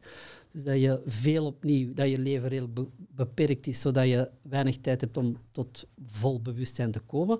Maar de stappen die je neemt, ja, neem ze gerust. Maar, en jouw, jouw voetsporen, maar volg je eigen voetsporen. En die kunnen op een gegeven moment samengaan met de engelen, maar ga er niet achter. Of die kunnen samengaan met Jezus, maar loop er niet achter. Loop ernaast. En op een gegeven moment kunnen die uit elkaar gaan. Even goed. Ja, je hoeft er ook niet bang voor te zijn. Nee. Eh, kijk, eh, ik heb eh, boven ook een, een Boeddha-beeld, zeg maar. En hoorde ik ook van mensen dat toen ze erachter kwamen dat manipulatie was, meteen Boeddha-beelden gingen weggooien. Nou ja, weet je, dat, ik kan er gewoon hier, hij, hij ligt boven. Toevallig heb ik hem laatst in de schuur gezet, maar dat is een ander verhaal. Ik kan er gewoon dus na, als, na zitten zonder daar een, een bepaald negatieve affinatie voor te hebben. Dat maakt je juist God volgens mij. Van zodra, van zodra dat je er een, eh, in het drama stapt, zit je in het systeem. Ja, Want dan ben je energie aan het weggeven. Dan kan men oogsten. ja, Dus stap niet in het drama. ja. Dat is, dus Goeie tip voor de kijker. Stap niet in het drama. Grote drama's, oorlogen, eh, het circus dat nu bezig is, dat zijn wereldwijde drama's die worden gecreëerd, Mhm. maar ook kleine drama's, ook op familiaal vlak, binnen het gezin, stap niet in de drama's. Dat is het. Dat is het echt. En eh, eh, ja, weet je, we doen ons allemaal vaak ons best om goed mogelijk mens te zijn. Maar zelfs dat is niet eh, alles. Eh, en een te goed mens, zoals Mr. Flanders van Simpson bijvoorbeeld, voor mensen die hem kennen. daar red je het ook niet alleen mee. Door alleen maar goed te zijn. Maar goed, Er komt meer bij kijken. goed, goed heeft geen zin trouwens, goed en slecht bestaan niet, maar goed heeft geen zin als het ten koste gaat van jezelf. Mhm. Daar wil ik toch nog even iets over zeggen. Want en misschien dat, dat de mensen daar iets mee kunnen. Want je, kunt, je kan gemakkelijk zeggen, ja, maar ga niet mee in het drama. Ehm, maar ook dat is een patroon, een techniek die bewust wordt geïmplementeerd en gecreëerd. En ik wil dat gewoon eventjes zeggen. Het is geen rocket science, het is ook bekend. Maar bekijk het ook vanuit, bekijk het voornamelijk vanuit energetisch standpunt. En dan wil ik gewoon zeggen, eh, ik wil even de drama-driehoek aanhalen. Dus je hebt, een drama-driehoek en daar kan je alles op, op praktisch alles wat er gebeurt, alle scenario's die zich afspelen, kan je daar opplakken. En een drama-driehoek is geconstrueerd om die energie van jou eh, eruit te trekken. Wat is dat? Dat is heel eenvoudig. Een drama-driehoek, je hebt een slachtoffer. Een slachtoffer weet van niets, is naïef, kan er niks aan doen, geeft zijn kracht weg, moet geholpen worden. Ja? Als er een slachtoffer is, is er ook meestal een agressor. Agressor die, die, die, die zich beter voelt, die, die er niks aan kan doen, die, die, die, die zijn dingen oplegt. En dan heb je natuurlijk ook de redder. En de redder, ja, die voelt zich beter, die maakt anderen, maakt het slachtoffer afhankelijk van, van zich. eh, is niet met zichzelf bezig, is met anderen bezig. En dat zijn eigenlijk zo wat de drie rollen. Die kan je overal op, op, opplakken. Mhm. Ehm, en dat is een systeem dat wordt gebruikt. Als je, eh, oorlogen zijn duidelijk. Ah, wij zijn slachtoffer, dat is de agressor en ons leger gaat ons redden, bijvoorbeeld. Ehm, maar ook even klimaato- klimaatopwarming, klimaatverandering. Ook dat. Je hebt van, ah, eh, de aarde is het slachtoffer en de mens is de agressor. En eh, de groene belastingen en al die flauwekul, die, gaat het, die gaat het oplossen. Oplossen, ja. Dus ook dat is een patroon. Maar ik kan even, even goed eh, de mode. Ah, eh, Dino, goh, wat heb jij nu aan? Ja, dit is de Ja, nieuwste is- trend van tegenwoordig. Ja, dat is toch dit zo, maakt me jonger. Kan ik jongeren dat is zo 2000, kijkers aantrekken? Dat is zo 2019. dat- maar dat, ook dat, dus de agressor, dan op dat moment, jij bent het slachtoffer. Agressor is, is ja, je bent niet mee, het gaat niet. eh, hoe durf je dat nog dragen? Wie gaat jou redden? Ah, de mode, de, de, de, de kledings, eh, en zo. Die gaat zorgen dat, dat het in orde komt. Ja, die sturen een paar skinny jeans naar je op. Bijvoorbeeld. Maar ik heb het idee ook, eh, misschien wil je dat dat ook eigenlijk mee zeggen, is dat in deze matrix eh, de, de dader en de redder uit één hoek komen. Het hangt ervan af hoe dat je dat bekijkt. Natuurlijk, de dader en de ridder die, die bepalen dikwijls het scenario. En het is altijd handig om. De overheid speelt soms uh, voor de redder terwijl ja, ze dader zijn. Ja, dus, maar dat, dat is wat, wat, wat ja, David Icke ook zegt: van, van dat je, hè, je hebt een. Uh, um, de ziekte en, en het geneesmiddel zit in hetzelfde. Je, je hebt de these en de antithese en de, de synthese wordt gemaakt. Uh, uh, ja, dat, dat, is Hegel en, en zover die, die dat ook heeft, heeft, heeft verteld. Dat klopt. Dus als je, het, als je zowel het probleem als de oplossing beheert en controleert, ja, dan heb je alles in handen en dan kan je, alles, kan je ook alles laten, heb je het schaakbord in handen, ja. als het ware. Uh, misschien is dit een mooie overstap om, om uh, over uh, zeg maar die remote viewing, waar we het over wilden ja. hebben, en reptiliaan te hebben. Wil ja. ik het hiermee inleiden is, we hadden het net over channelings. En wat, wat bij mij opvalt bij de channelings in het algemeen, is dat de persoon zelf soort van op non-actief wordt gezet. Mm -hmm. En een externe redder altijd ter sprake komt. Ja. Een engel, aartsengel Michael en dergelijke. Um, mensen die dus uh, uh, in een spiritueel model vastzitten, uh, hebben met mij probleem dat ik praat over negatieve energieën die mm-hmm. gewoon eigenlijk buiten deze matrix ook opereren. Dat kan er bij hun niet in. Volgens hun zijn er alleen maar vriendelijke buitenaardse wezens mm-hmm. en bestaan er geen negatieve wezens als het ware. Mm-hmm. Nou, ik zou graag van jou willen weten hoe je daarover denkt. En misschien dat je naar aanleiding daarvan ook vertelt over je ervaring met die reptiliaanse persoon en dat we daarop verder borduren. Um, ik ga, we kunnen al, alle mogelijke constructies bedenken, maar ik ga het heel down to earth letterlijk houden, op deze aarde. Ga, ga ik het even houden en, en daar de ervaringen. Um, dus over, over uh, buiten, buitenaardse. Um, Um, ik, ik, ik, ga remote viewing nemen. Ja. Dus, dus uh, ja, remote viewing wil zeggen letterlijk op afstand kijken. Dat is iets dat door alle eeuwen een al door bepaalde mensen of categorieën van mensen is, is kunnen gebeuren. Priesters in Delphi of priesteressen in Delphi. Uh, um, shamanen, noem maar op. Dus een, een helderziendheid, kunnen voorzien wat er gebeurt. Groot verschil met, met channeling of met buitenlichamelijk gaan is dat je niet onderdeel bent van, maar dat je nog altijd weet van, ah, ik ben iets aan het aanschouwen.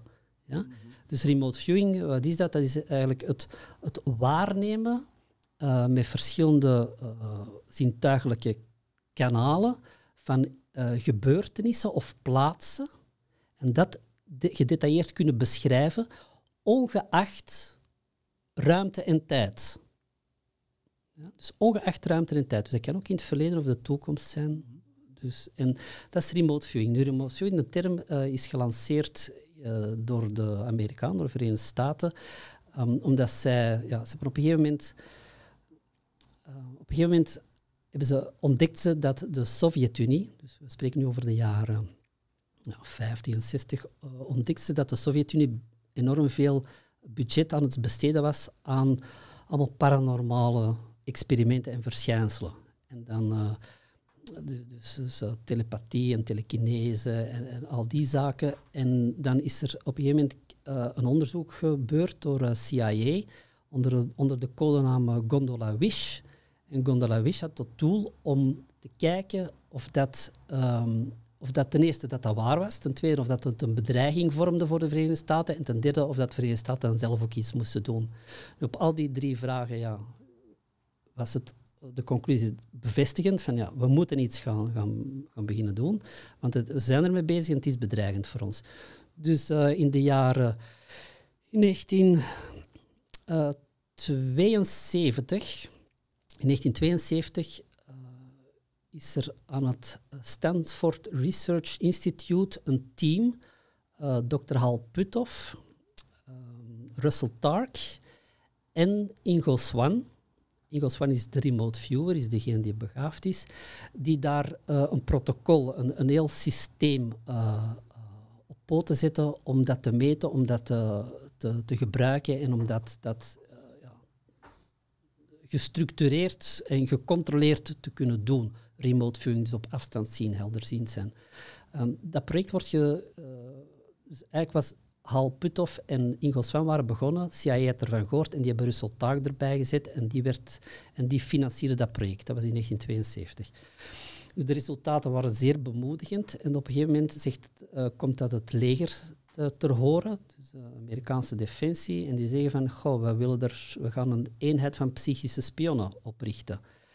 Uh, er is een jonge kapitein, Skip Atwater, en die krijgt de opdracht. Skip Atwater die gaat op onderzoek uit, die stelt een team samen van be begaafde soldaten, begaafde militairen, en die, krijgen een, die beginnen te experimenteren. Nu, het is alleen, het valt niet zo goed mee, want de cool-down-periode, de cool-down-periode is de periode waarin dat je in de zone komt, dat je in een staat komt, een bewustzijnstaat waar dat je effectief kan remote viewen.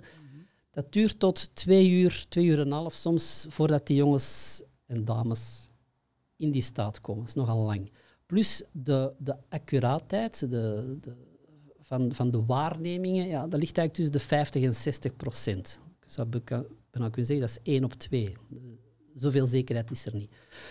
Dus uh, de, uh, Skip Atwater, die jonge kapitein, die gaat op onderzoek uit en die komt op een gegeven moment terecht bij het Moreau Instituut. Hmm. Die had ervan gehoord. Kijk, toch weer een link daaraan. Ja, dat daar eigenaardige dingen gebeuren. Dus die gaat daar binnen, die zegt van ja, ik ben een journalist, ik, uh, kan je mij eens zeggen van wat er hier gebeurt? Dan zegt Bob, uh, ja, we gaan dat niet vertellen, we gaan jou dat laten ervaren. Dus, dus Skip wordt in, in een kamer gelegd met een koptelefoon op voor, voor de geluidsinstallatie. en heeft ook uh, en, en, Bob, Bob zit in de controlekamer en die begeleidt hem. Hè. Hij zit te schakelen en zit, zit te vertellen. Een, soort geleide meditatie. Na, een uur, na 40, 45 minuten is het afgelopen en Bob sluit alles af, gaat naar de kamer en hij ziet dat Skip van het bed komt en Skip is aan het voelen aan de poten van het bed. Bob zegt, wat ben je aan het doen? Ah, zegt Skip, ik ben aan het kijken hoe dat die hydraulische poten hier werken. En Bob begint te lachen en zegt, ja, maar het zijn helemaal geen hydraulische poten. En op dat moment beseft Skip van dat hij uit zijn lichaam tegen het plafond praktisch ging. Hij had dat heel, heel ervaren, maar ah, zo, ja. hij ja, dacht ja, dat ja, het bed Hij probeerde een eigen verklaring voor in te vullen, wat het was. Ja. En toen besefte hij van, wow, hier is iets. Dus dan heeft Skip eh, verslag... Bob wist niet dat hij van het leger was, of van de, van de intelligence. Ehm, dus Skip brengt verslag uit. Bob wordt, zonder dat hij het weet, en het Morrow Instituut wordt doorgelicht. En op een gegeven moment krijgen ze de opdracht om hemisync-signalen te ontwikkelen voor remote viewing. En een van de psychische spionnen die, die, die meewerkt daaraan om dat te perfectioneren is Joe McMonagall. En Joe McMonagall ehm, is een van de meest begaafde eh, eh, militairen daar. Ik ken Joe trouwens persoonlijk. Ik heb er uitgebreide Is dat gesprekken de man uit. Canada of zo? Nee, Oh, dat is weer iemand ja, anders. dat is weer iemand anders. En, eh en Joe, dus die gaat aan de slag ook met, met Bob Moreau. En ze ontwikkelen hemisync-signalen waarbij, het er wordt, waarbij dat de cool-down-periode beperkt wordt tot 10 à 15 minuten. Dus dat is aardig korter wat, dan die iets korter andere, dan twee.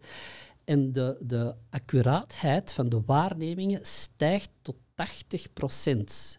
En bij begaafd, bij zeer begaafd, zoals een Joe McMonagall, gaat dat naar 85 en 90 procent. Mm. Dus, dus tussen de 80 en 90 procent is men zeker van wat men binnenkrijgt. Dus de CIA kon dat inzetten op bepaalde dingen dan. Ja, dus op dat moment was het, eh, zat het bij de militaire intelligentie. Maar uiteraard, dus op dat moment eh, is dat ontwikkeld en wordt dat ingezet. En, en Joe heeft gewerkt voor alle mogelijke drieletterige agentschappen, FBI, CIA, NSA. En die ken jij persoonlijk? Ja. Zou je misschien wat kunnen vertellen over zijn ervaringen, als zal- dat mag? Ik zal, ja, ik, zal, ik zal daar direct eh, zaken over vertellen. Eh, maar dus dat is, dat is eh, remote. Dat is Remote viewing. Remote viewing. Remote viewing, en dat wil ik ook nog even vertellen, dat wordt op verschillende domeinen gebruikt. Als je dat bij ons in, in Nederland en België en hier over spreekt, dan zeggen mensen, ja, pff, in de Anglo-Saxische landen is dat toch iets meer Ja. ingeburgerd. Ehm, dus het wordt zowel gebruikt voor ja, militaire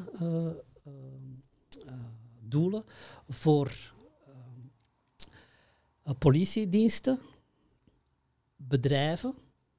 ja, politiediensten voor vermiste personen eh, te vinden en zo. Mhm. Eh, bedrijven, zijn grote bedrijven, ontginningsbedrijven, petroleumbedrijven, raffinaderijen, die ehm, eh, remote viewers inschakelen om te weten waar ze moeten beginnen graven, waar ze moeten ontginnen, waar ze moeten boren. Want 100 meter verschil of, of 3 kilometer verschil is, kan een verschil van miljoenen zijn. Dus het zegt wel wat over de effect en geloof daarin, anders Tuurlijk. gaan ze dat niet doen. Maar ook daytraders. Dus een vriend van mij is, eh, heeft ook voor al die agentschappen gewerkt, dus die Canadees. Ehm, eh, die is nog altijd, eh, tot voor een paar jaar was hij nog altijd actief. Ik weet niet wat hem nu nog actief is. Hij hij Ehm, maar die heeft bijvoorbeeld voor daytraders gewerkt. Dus daytraders zijn eh, bedrijven die doen, die doen allee, eenvoudig gezegd doen die één ding. S'morgens gaan de beurzen open, s'avonds sluiten die beurzen en zij gokken erop, gokken, of dat de koers gaat stijgen of gaat dalen. Als je natuurlijk een remote viewer hebt, die weet van, ah, s'morgens, wat dat, wat dat s'avonds gaat zijn, of dat is gestegen of niet. Ja, als je die kennis hebt, dan kan je inzetten. en Ga je, dat zijn miljoenen, tientallen miljoenen dat men daar per dag mee kan Je verdienen. moet echt contact krijgen met die man. Ja, Wat, wat de bitcoin gaat doen. Dus, dus, eh, dus, dus, dus die, die, ik, noem hem Paul. Paul heeft daarvoor gewerkt. Dus, dus, ehm, en zijn accuraatheid was 80% Ehm, dus in 80% van de gevallen was hij juist. Kon hij perfect. Natuurlijk, die bedrijven hebben niet één remote viewer. Hmm. Die hebben er een stuk of 10, 15. Dus, en als er, als er van die 10, als daar 8 zeggen van het gaat stijgen en 2 zeggen gaat dalen, gaan ze op die stijging Mhm. spelen natuurlijk. Met andere woorden, ehm, die jongens die, die zaten 95% of hoger accuraat. Dus dat, zijn, dat wordt nog altijd gebruikt. Dus remote viewing wordt... wordt eh, Ja, ik heb. ehm, wat je net uitlegt, eh, is voor mij echt ook compleet nieuw. Eh, Ik heb er wel wat, wat gehoord. Ik heb gezien dat eh, sommige mensen zelfs naar Mars eh, kunnen remote Klopt. viewen. En daar ondergrondse faciliteiten zien waar gewoon mensen wonen en eh, beschavingen zijn. Niet alleen dat. je, je hebt ook, ook bij ons bijvoorbeeld ehm, op Mars. Joe is ook al op Mars. Ik ken nog mensen die, bij remote viewing op Mars zijn geweest. Ik mensen die buitenlichamelijk op Mars zijn geweest. En ik mensen die fysiek op Mars zijn geweest. Wow, dat moeten we echt. eh, Je moet een keer maar eh, ook nog eens terugkomen voordat we vijf uur hier een aflevering maken. Eh, of, dat hebben ze persoonlijk tegen mij gezegd. Maar Mhm. Nu, ehm, maar remote viewing, als je hier in, de, in een paar jaar geleden, het kan al tien of vijftien jaar geleden zijn, op een gegeven moment heeft de CIA. ehm, dus remote viewing kan je op verschillende manieren. Je kan dat aan de hand doen van coördinaten, dus, eh, noorderbreedte, oosterlengte of westerlengte, dus eh, met de meridiaan en zo. Dus elke plaats dat 100 op 100 meter eh, op de aarde is bepaald door coördi- door, door ja, meridianen en, en hoe noem je die andere weer? Ja, door Ik lijnen. slecht in. Ehm, Co- coördinerende lijn of iets, ik weet niet. ja, dus, dus je kunt, dus aan de hand daarvan kan je coördinaten krijgen. Dus, dus die verticaal en horizontaal gaan op snijpunt, dat is dan jouw target als remote viewer. Dat is een, dat is een manier van. Je hebt ook eh, remote viewen, dus dit noemt controlled remote viewing. Je hebt ook remote viewing waarbij dat je een, eh, een, een, eh, een target hebt in een envelop bijvoorbeeld, in een briefomslag, en dat je dan moet beginnen vertellen wat dat je daar ziet of wat dat je voelt en, en zo verder. Wat dat je ook hebt is via outbounders. Dus via outbounders is dat je ehm, ergens ter wereld loopt iemand en jij logt erop in en jij begint te beschrijven wat dat hij ziet, wat dat hij voelt, wat dat hij... eh, dat is heel leuk om te doen. Ja, bizar. Je dat ook al gedaan? En daar is onderzoek op gedaan en het blijkt gewoon zo echt te Ja, werken. ja. voordat mensen denken van eh, ja, het is een eh, Ah, nee, broodje nee, apverhaal. Dat wordt, dat wordt nog altijd gebruikt. Zie je, zie je, Amerikaanse leger werkt er niet voor niks mee. Ja, En die de- bedrijven. Ja, maar, iedereen, allee, ja, er zijn er en- enorm veel die, de- en dat kan je ook aanleren. Allee, een, een, van de, een van de workshops dat ik geef is, is een dagworkshop waar, waar, dat we, waar dat we volgens dat protocol dat die jongens gebruiken, dat we daar ook theorie, dat je dat wat eigen kan maken en dan gaan we zelf targets doen. Dus dan kan je zelf zien in hoeverre dat je scoort. dus, dus dat kan je Straks, eh, eh, als we zeg maar eh, slot doen van de show, moeten we even ook even daarbij vermelden wat je precies doet met Oh ja, cursussen en zo. Ja, kan je dat er ook eventueel bij vermelden?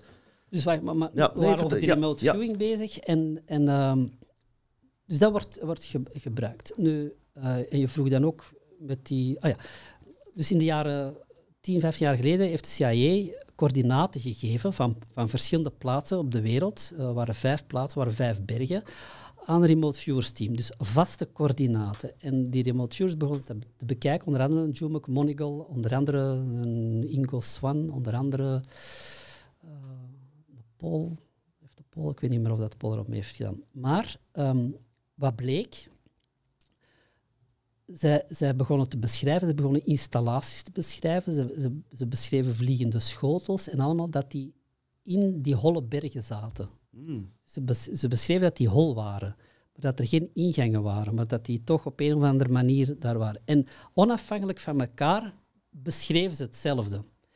Ehm, en je had een berg in, eh, in Alaska, ik ben de naam kwijt, je had een berg in Zimbabwe, je had een berg in Australië, is allemaal ver. Maar je had er ook een in Europa, in Spanje. Bij Andorra is er een, een berg die noemt Monte Perdido. En het gaat over die berg. Dus als je ooit nog eens naar iemand naar Spanje wilt gaan van de luisteraars, bezoek eens Monte Perdido. Het is daar, ook, daar rond ook gekend, de verhalen van de mensen die daar wonen, die vertellen over Monte Perdido, van dat ze vreemde verschijnselen zien, dat ze, dat ze vliegende objecten zien en zo verder. Maar ook daar is dus een beschrijving eh, in opdracht van de CIA, van remote viewers, dat die beschrijven dat ze daar controle dingen zien, dat ze schotels zien, dat ze daar bepaalde wezens zien. En dat is, dat is ene kant. Een ander, een ander verhaal, ook even nog over Monte Perdido, is ehm, op een gegeven moment, ik, de, een van de vorige eh, CEO's van het Moro Instituut, die heeft lang in Spanje gewoond, die dacht, ga, ik ga eens buitenlichamelijk naar Monte Perdido eens gaan kijken. Want, al die verhalen die hier zijn, die zijn naartoe gegaan en die is tegengehouden geweest door... ehm, Reptilianen. geen Reptilianen, maar door van die Grace. Van die, van die, allee, Ja, van die grijze, van die robot-aliens. van, van die Grace, ja. En eh die zei, ja, je mocht, je mocht die niet door. Ja, maar zegt ze, ik wil eens komen kijken. Allee, ze begonnen mee, met te discussiëren. En kwam er een, een, een groter figuur. eh, ze zei, ja, die was twee meter of... of, of en die had de leiding meer. En die, is- en, die, en die zei van, ja, kom maar eens mee. Dus er valt met hun ook wel te onderhandelen soms. Ja, maar ja. Oké. Als je vanuit je, Oké, vanuit je wezen, je autoriteit, ik bedoel, ja. Dus zij, eh, ze gaan mee en die laat inderdaad, ja, ze, zij bevestigt dat, van dat er ja, een enorme ruimte was, en vliegende objecten en weet ik wat. En ze vroeg dan aan die man, eh, of, aan die figuur, van ja, wat doen jullie hier? Ja, we, zijn hier aan het onderzoeken en, en dat. En zegt, ja, maar eh, de aarde, eh, jullie komen dan van buiten de aarde. Och, zegt hij, wij zijn hier al veel langer als Ja, jullie. zijn gewoon... Be, ja.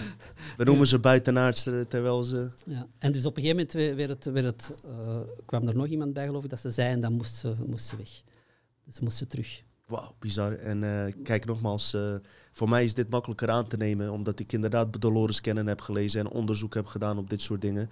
Ehm, wat voor de kijker die, die niet echt op diep level zit wat dit betreft, is het handig dat jij er bent, maar ook verwijst dat het leger, dus het, eh, de CIA, de eh, MIC, mi- mi- mi- militaire complexen in Amerika, hier dus eh, ook eh, gebruik van maken. Ja, en ik en- heb ook gehoord, eh, dat is even buiten jouw ding om, eh, dat het Witte Huis ook echt bewaakt, interdimensionaal wordt door de reptilianen.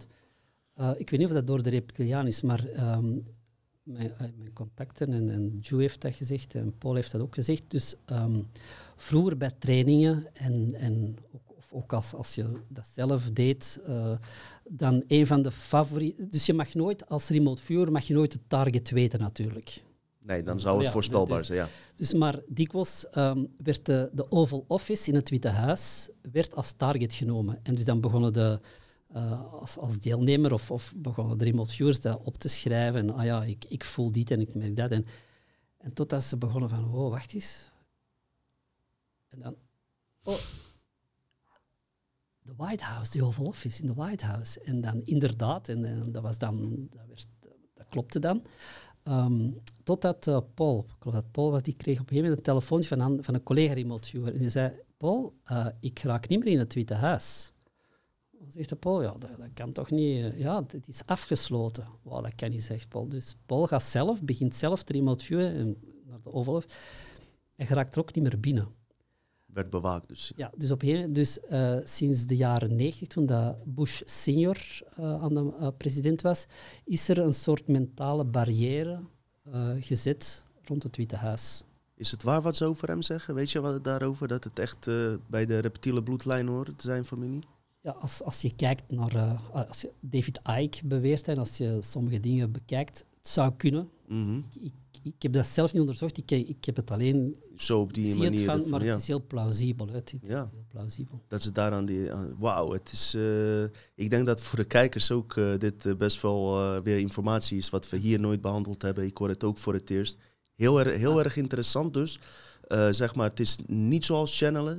je, je hebt hier zelf heb je een waarnemend vermogen. Ja.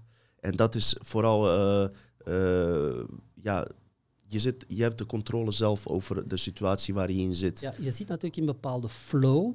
En je hebt nog altijd je hebt verschillende soorten van remote viewing, maar in de controlled remote viewing, en je gaat naar die coördinaten, ja, ben je in controle. Uh, maar je kan ook, er bestaat ook ERV, Extended Remote Viewing, en dat, dan ben je in zo'n staat dat je een handler hebt, iemand die jou aanstuurt. Dus dan ben je helemaal, je bent, allez, weg van de wereld is een groot, groot woord, maar, maar je bent helemaal in de zone. Mm -hmm. Die handelaar die zorgt ervoor, die zegt van, ah, oké, ga nu 100 meter naar daar en ga nu oh, ja. van naar daar en naar daar. En dat, dat je gewoon dan beschrijft wat dat je ziet. Nooit interpreteert, maar altijd be een beschrijft, iets beschrijft. Want als je begint te interpreteren, nogmaals, je detecteert bepaalde energie. Als je gaat interpreteren, wordt dat ingevuld door jouw achtergrond, door jouw Mhm. mm -hmm. cultureel systeem. Dus het is heel belangrijk bij remote viewing dat je gewoon neutraal beschrijft wat je voelt, ziet, ruikt, hoort. Ik kan me voorstellen dat uh, de overheid uh, remote viewers kan gebruiken om bijvoorbeeld uh, geheime gesprekken van Russen bijvoorbeeld af te tappen. Tuurlijk, ja, tuurlijk. tuurlijk dat je en wat je zegt, grote bedrijven kunnen voorspellen, of ja, remote viewer kan voorspellen wat de plan is van de kabal, of hoe ze ze wil noemen, wat, wat ze met de beurzen gaan doen. Dus ja, we kunnen het wel in onze voordeel eventueel ook uh, zeker toepassen. Uh, je had het over uh, dat, dat je met een uh, reptiliaan... Dat, dat vinden de kijkers waarschijnlijk ja, ook heb, interessant. En, dus ik heb ook al, al, jaren geleden... was ik in, in contact met, met het werk van David Icke dan. mm. Gelezen dacht van... Wow, ja, kan dat wel en zou dat wel, maar hij bouwt het heel mooi op. Al zijn onderzoek dat erachter zat toen ook. Um, en al, alle... alle ja, als je zelf gaat kijken doorheen alle culturen, zie je inderdaad die reptielen, die slangen doorkomen. Dat is een constante, of dat je nu bij de Sumeriërs ziet, of, of Egypte, of, of, of in Zuid-Amerika, uh, Bijbel, overal, overal kom je tegen. De Inca's, de Maya's, overal. Um, je zegt van wauw. Maar ja, dat is altijd natuurlijk, je leest iets en je kan dat logisch beredeneren en je kan het geloven. Zolang je het niet ervaart, geloof je het. Mm -hmm. dat, dat is altijd cruciaal voor mij. Dus was erin mee. Natuurlijk, jouw zoeken, jouw onderzoeken zorgt ervoor dat jouw perceptie al begint te veranderen een beetje en dat je het al in overweging neemt. Je, je, zou het kunnen, je kan het, je gelooft het zou kunnen waar zijn. Maar het is enkel als je ondervindt, dus je kan zoeken en onderzoeken, maar het gaat over het vinden door het te ondervinden. Mm. Dus als je het ondervindt, ervaart, dan vind je het en dan weet je het ongeacht wat de rest van, van de mensheid of de wereld of weet ik wat zegt, dat kan niet. Jawel, je weet het, want je hebt het zelf ondervonden. Je, mm -hmm. weet, je weet het gewoon. Dus op een gegeven moment, mijn perceptie was natuurlijk al een beetje ruimer op dat moment. Ik ben, ik ben ook in die andere bewustzijnstaten bezig. Ik weet, ik, je kan andere intelligentie, andere culturen, andere rassen tegenkomen, andere bestaansvormen. Dus op een gegeven moment, ik ben uh, de excursion workshop aan het geven. Is een van mijn, van mijn cursussen. En um, iedereen, al, deelnemers waren al, al, al weg of gaan slapen. Het was één met overnachting toen, uh, gaan slapen. En ik zit nog met iemand, een, een, dame, een vrouw, te babbelen, te praten. Uh, het was elf uur ongeveer. Allemaal gesprekken en, en ook over dan hè, reptilians en zo verder. En zij, zij begon, ja, maar, maar niet, niet alle reptiliëns zijn slecht. En, en, en, zo, zo, als eenmaal, en ze begon eenmaal in, in, in haar betoog en, en zat er helemaal in. Ik was aan het kijken en op een gegeven moment begint ze te veranderen. Hm.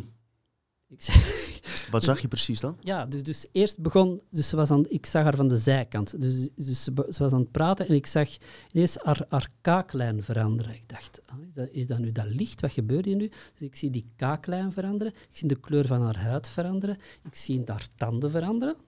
Dus de- dat worden van die, van die scherpe tanden. Ik kreeg nu al rillingen, weet je dat? Ah nee, nee, dat was, dat was Niet dat ik er bang voor ben nee, of zo, maar- Nee, dat, dat was dus, dus ik kijk, en ze, ze is, van alles aan het vertellen en ik begin te lachen. En ze kijkt zo naar mij en dat is in een flits zie ik ook die ogen en hops, en het was terug. Wow. dat was mijn eerste ervaring dat ik dacht van, oké, ze bestaan. Je hebt het dus niet via een tv-scherm gezien, want dan zou je kunnen denken van het is gemanipuleerd. Nee, je hebt nee, het echt... dat- eh, dat- dat- dat- en heb je het met haar daarover gehad ook? Ik heb het daar even met haar over gehad. En, en, eh, en achteraf had ik moeten natuurlijk weten, want achteraf zei ze ook tegen mij van ja, eh, had ik... De, de locatie waar we waren was twee dagen, het was maar twee dagen. En die, die gaven enkel vegetarische maaltijden. Dus ze, ze zei van, had ik geweten dat het enkel vegetarisch was, had ik niet gekomen. En achteraf dacht ik, ja, ja natuurlijk. En, en er zijn nog zo twee dingen. Iets van, van dat Wa- Wat wilden ze dan? Mensenvlees? ja, nee, Nee. Ah, vandaar dat er een deelnemer miste. Ja, ik, wa- ik was al... Maar wat eten ze dan? Eten ze veel vlees dan? Of, eh, Ja, als je... Zij beweren dat ze elke dag vlees nodig had, eh, liefst drie keer per dag zelfs. Wow. En dat ze eh, ook eh, ja, warmte, dus dat, dat ze warmte... Ja, achteraf dacht ik, ja, natuurlijk, ze is koudbloedig. En er waren zo twee, drie dingen dat ze zei, dat ik achteraf dacht van, ah ja, natuurlijk. Dat is logisch.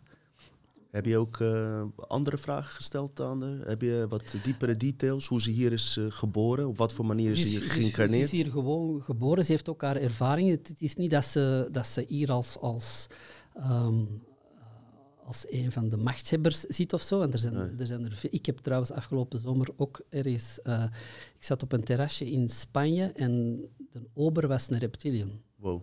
Dus het voordeel met al die...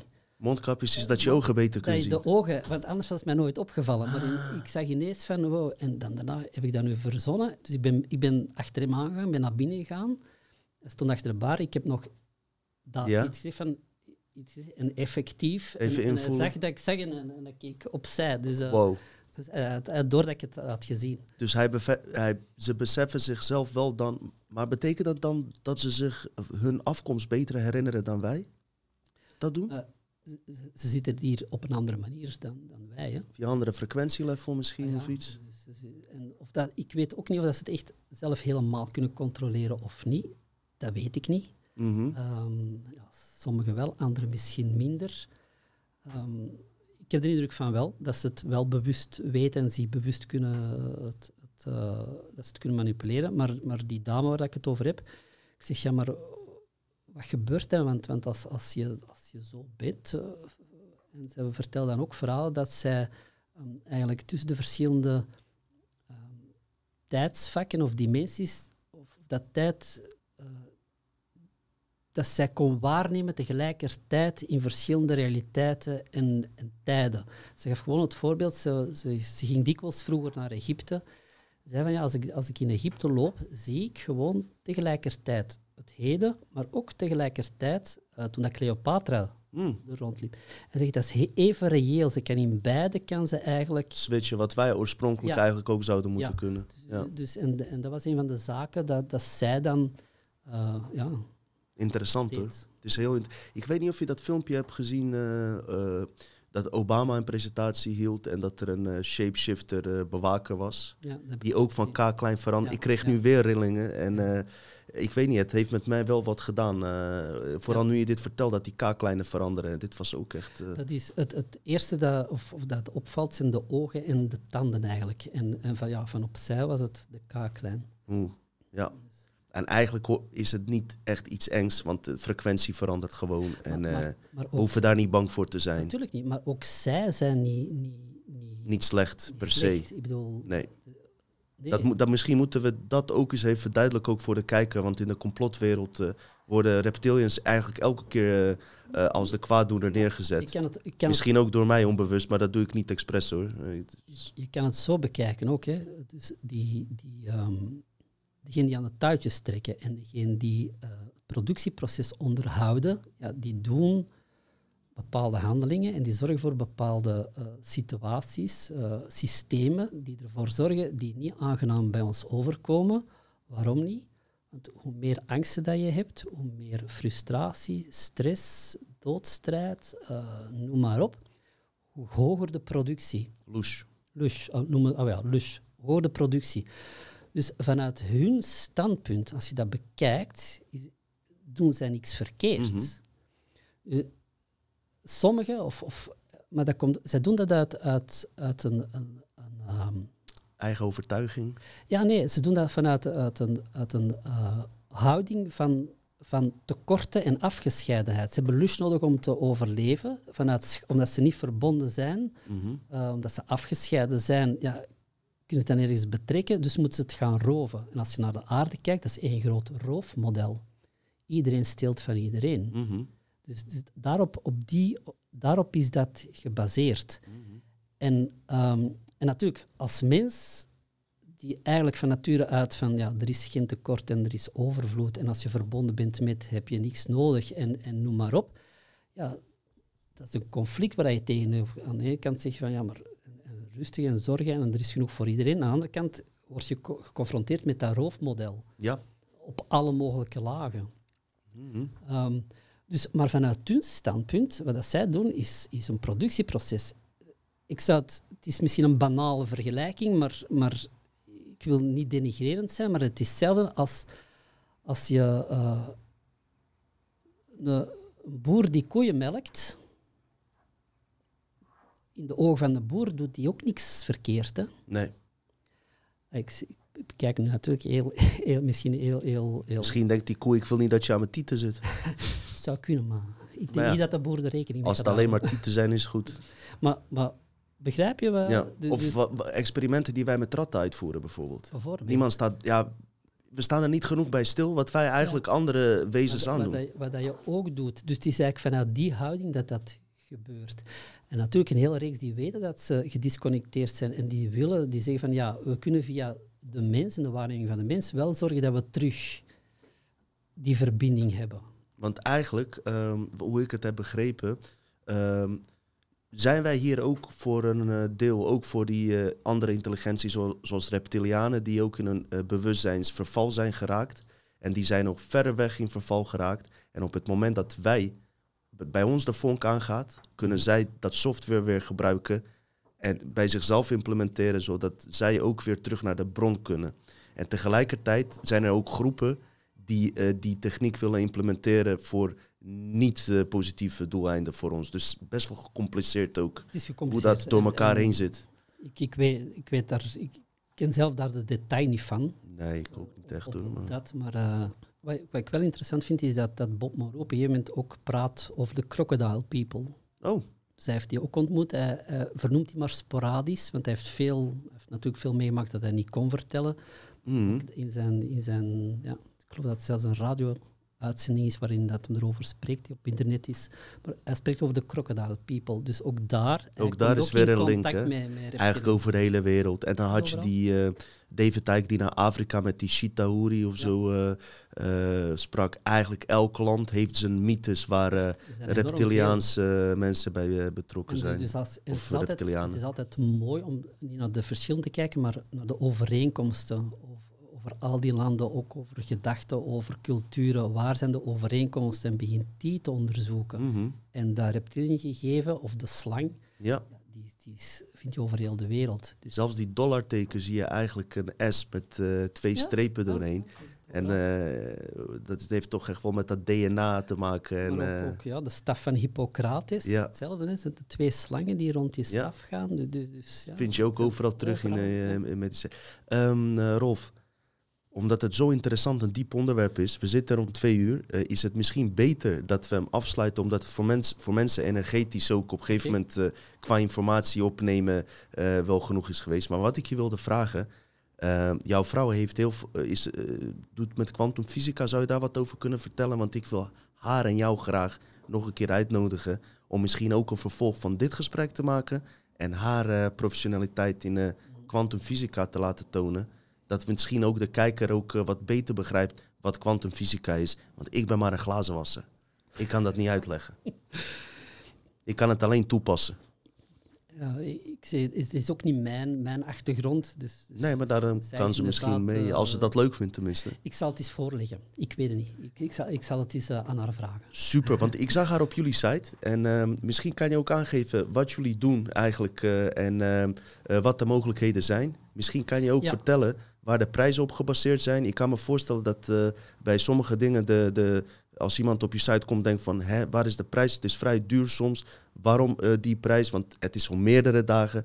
Weet je, dat mensen ook begrijpen waar het over gaat en eh, dat het duidelijk is voor mensen. Ja, dus wat, wat, wat ik geef is, is zijn allemaal programma's met Hemisync. Dus een tool om, om zeer snel naar die bewustzijnstaten te kunnen gaan. Ik geef de officiële programma's van het Moreau Instituut en ik geef er ook eh, ja, leuke dingen naast. De officiële van het Moreau Instituut, eh, als je nog niks hebt gedaan, is het de Excursion Workshop, is een tweedaagse. En je hebt ook de Gateway Voyage, dat is een zesdaagse. Mhm. De excursion workshop gaan we, verkennen we twee bewustzijnstaten en na afloop ben je in staat om er zelf naartoe te gaan, ben je in staat om in je dagelijks leven allerhande tools te gebruiken om, om eh, voor healing, voor, voor, voor eh, jouw intuïtie te gebruiken, eh, zonder dat je een opname nodig hebt, zonder hemisync. Oké. Je krijgt er wel één mee na verloop, na de tweedaagse krijg je er één. Dus dat is, dat is de excursion. En even de, de twee staten die, die we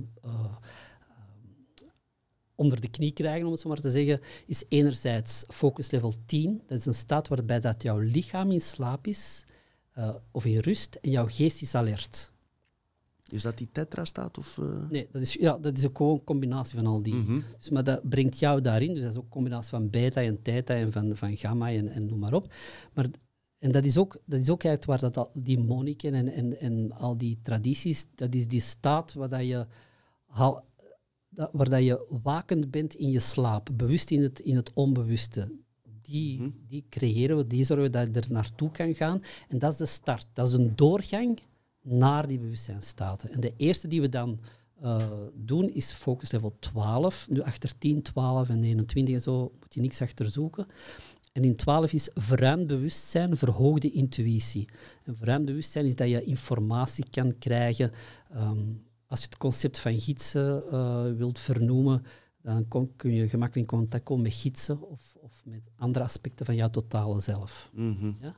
En kan je informatie en zo krijgen. Dat is typisch, dat zijn de twee uh, focus be bewustzijnstaten die we dan verkennen en die je je eigen maakt. Dat is de excursion workshop. En uh, normaal kost die 2,95 voor de twee dagen.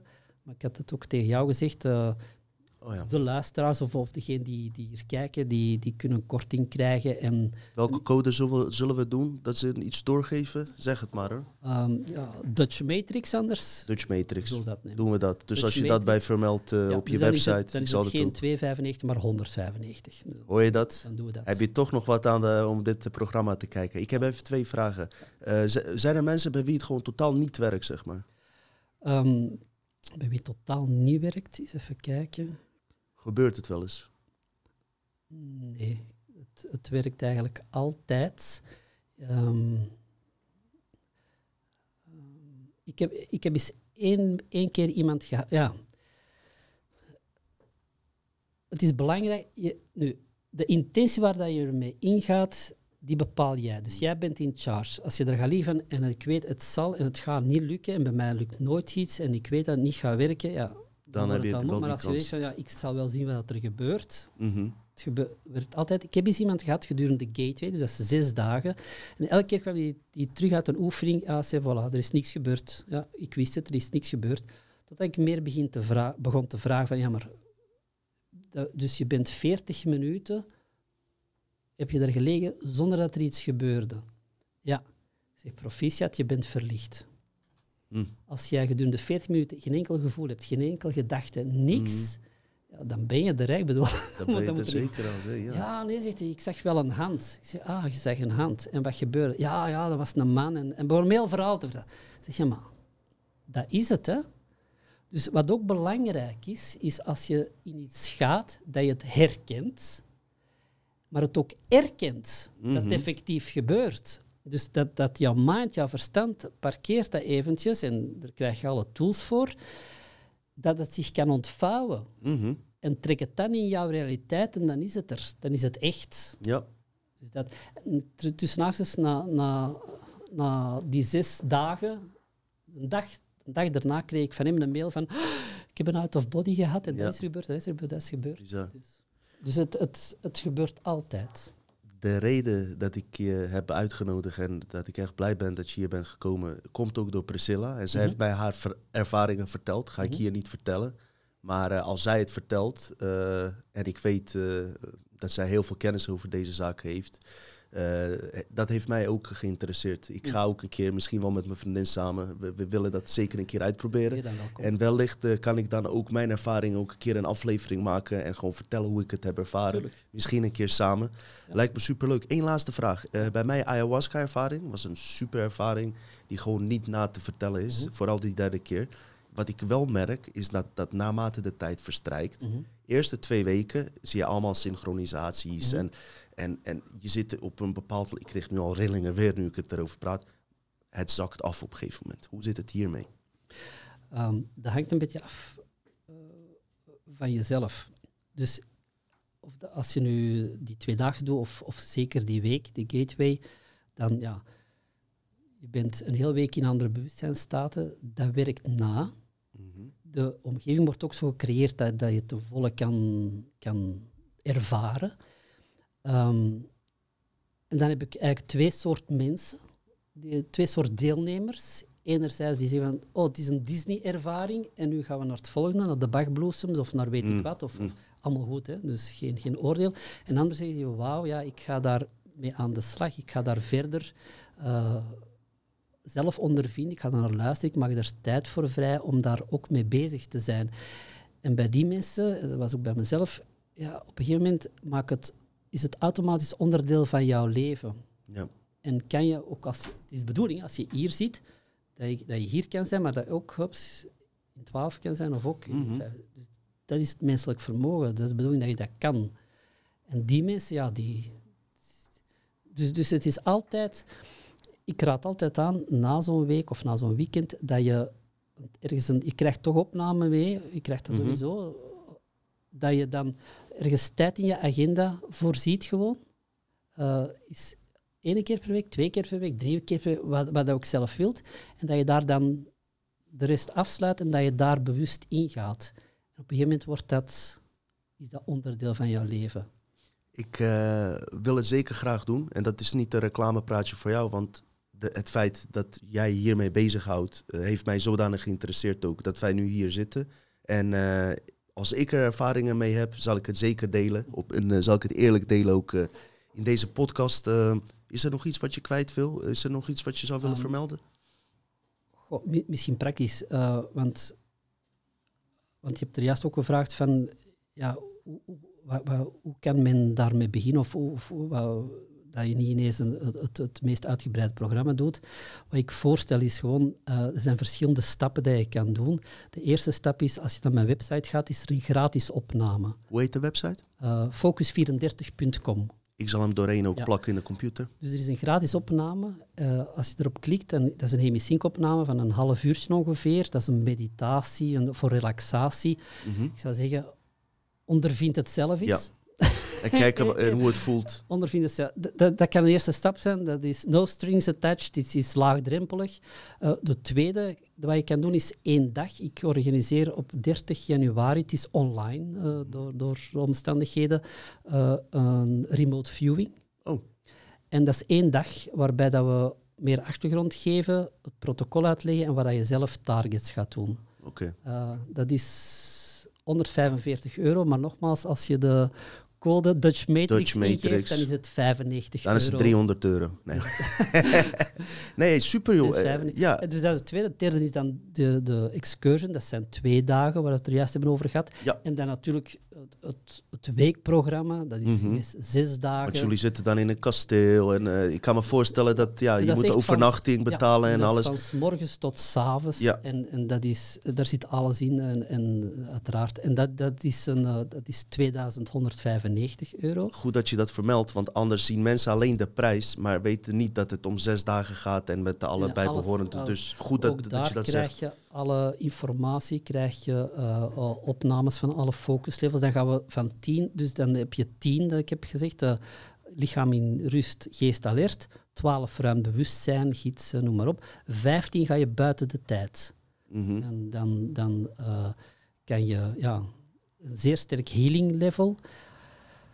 Niet over vorige levens gaat, maar het, gaat, ja, het concept van vorige levens is, is ook iets dat, dat... Anders dan we denken, hè? Anders dan we denken, maar toch, je kan naar, naar, naar allee, noem het dan vorige levens gaan. Realiteit, andere realiteit, ja. eh, chronieken of, of weet ik wat.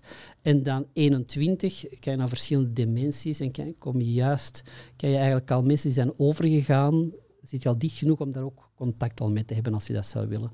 Dus Ja. dat is, dat is de, of, of jouw totale zelf bewust ontmoeten. Dus dat is de Gateway Voyage. Allee, dat is veel meer natuurlijk, maar, maar Mhm. dat is de basis. Dat is een beetje een idee hebben. Ehm, maar ook daar, het is normaal 2195. Dat zijn Kunnen prijzen die vanuit Amerika worden opgelegd. Dus, die we, Werken maar- jullie ook samen met hun dan of zo? Is het een onderdeel van, eh, van een Amerikaanse eh, Nee, vertakking ik, of iets? dat ik ben gecertificeerd trainer van, Oh, ja. het Moro Instituut. Eh, maar ook daar, 2195, als je dat echt wil doen, als je full-blown wilt gaan, kunnen we daar ook een korting geven van 400 euro, als je dat wilt. Er valt hier Dus- te onderhandelen. Nee, hoor. Dus, dus doe nee maar is goed joh. Kijken Dus wel. kijk. eh, weet je, ik stel voor voor de kijker ook, eh, kijk voor jezelf vooral. Eh, informatie wat je ons nu hebt gegeven is voor mij heel erg interessant. En ik heb er echt weer wat van geleerd. Ik ga zeker ook een keer naar een van je programma's kijken. Ik heb, ik heb het niet, niet de tijd genomen om het even goed te analyseren, maar het spreekt me aan. Ehm, mensen, super eh, bedankt voor het kijken. Rolf, ik zou je graag nog een keer willen zien. En ik hoop dat er gelegenheid is dat we. eh, er zijn denk ik nog veel onderwerpen die we zouden kunnen We bespreken. just scratched the surface. Nou, we- weet je waarom ook? Eh, ik ben op een gegeven moment ook uitgeluld. En ik heb heel veel verteld. Er zijn nog veel dingen die ik niet heb verteld. Dus ik heb nog zat informatie, mensen. Maar het is fijn om gewoon iemand anders te hebben. Dus ook leuk dat je uit België komt. Maar ook omdat je een andere type persoon bent. Jouw achtergrond is anders. En eh, je komt serieus en normaal over. En als je over dit soort onderwerpen praat eh, met, eh met eh buitenaardse entiteiten, dimensies, realiteiten, is het fijn als iemand dat gewoon op zijn manier en netjes en goed kan vertellen. Dus mijn grote dank Dankjewel. Dat je hier bent geweest. Mijn plezier. Superman, super. Mensen, bedankt voor het kijken.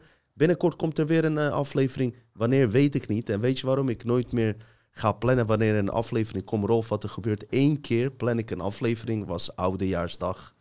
Ik dacht, ik ga mensen, nou niet verrassen, ik ga aanmelden wanneer die komt. Wat krijg je? Meteen dat druk. Hij moet op dat moment uitkomen. Dus de eerste keer dat ik heb gedaan, ging meteen van alles mis. Niet meer doen. Oudejaarsdag heb ik zoveel ellende gehad. Ik heb niet eens normaal kunnen genieten. Die computer liep elke keer vast, eh, zeg maar, eh, net op het moment dat die eh, online moest komen. Net op het laatste moment. Dus wanneer de volgende aflevering komt, kan ik je niet vertellen. In ieder geval, eh, leuk dat jullie weer hebben gekeken. En eh, we zien elkaar gauw weer terug. Fijne dag, avond, ochtend. Wat je ook aan het doen bent. Welke dimensie je ook zit. Groetjes.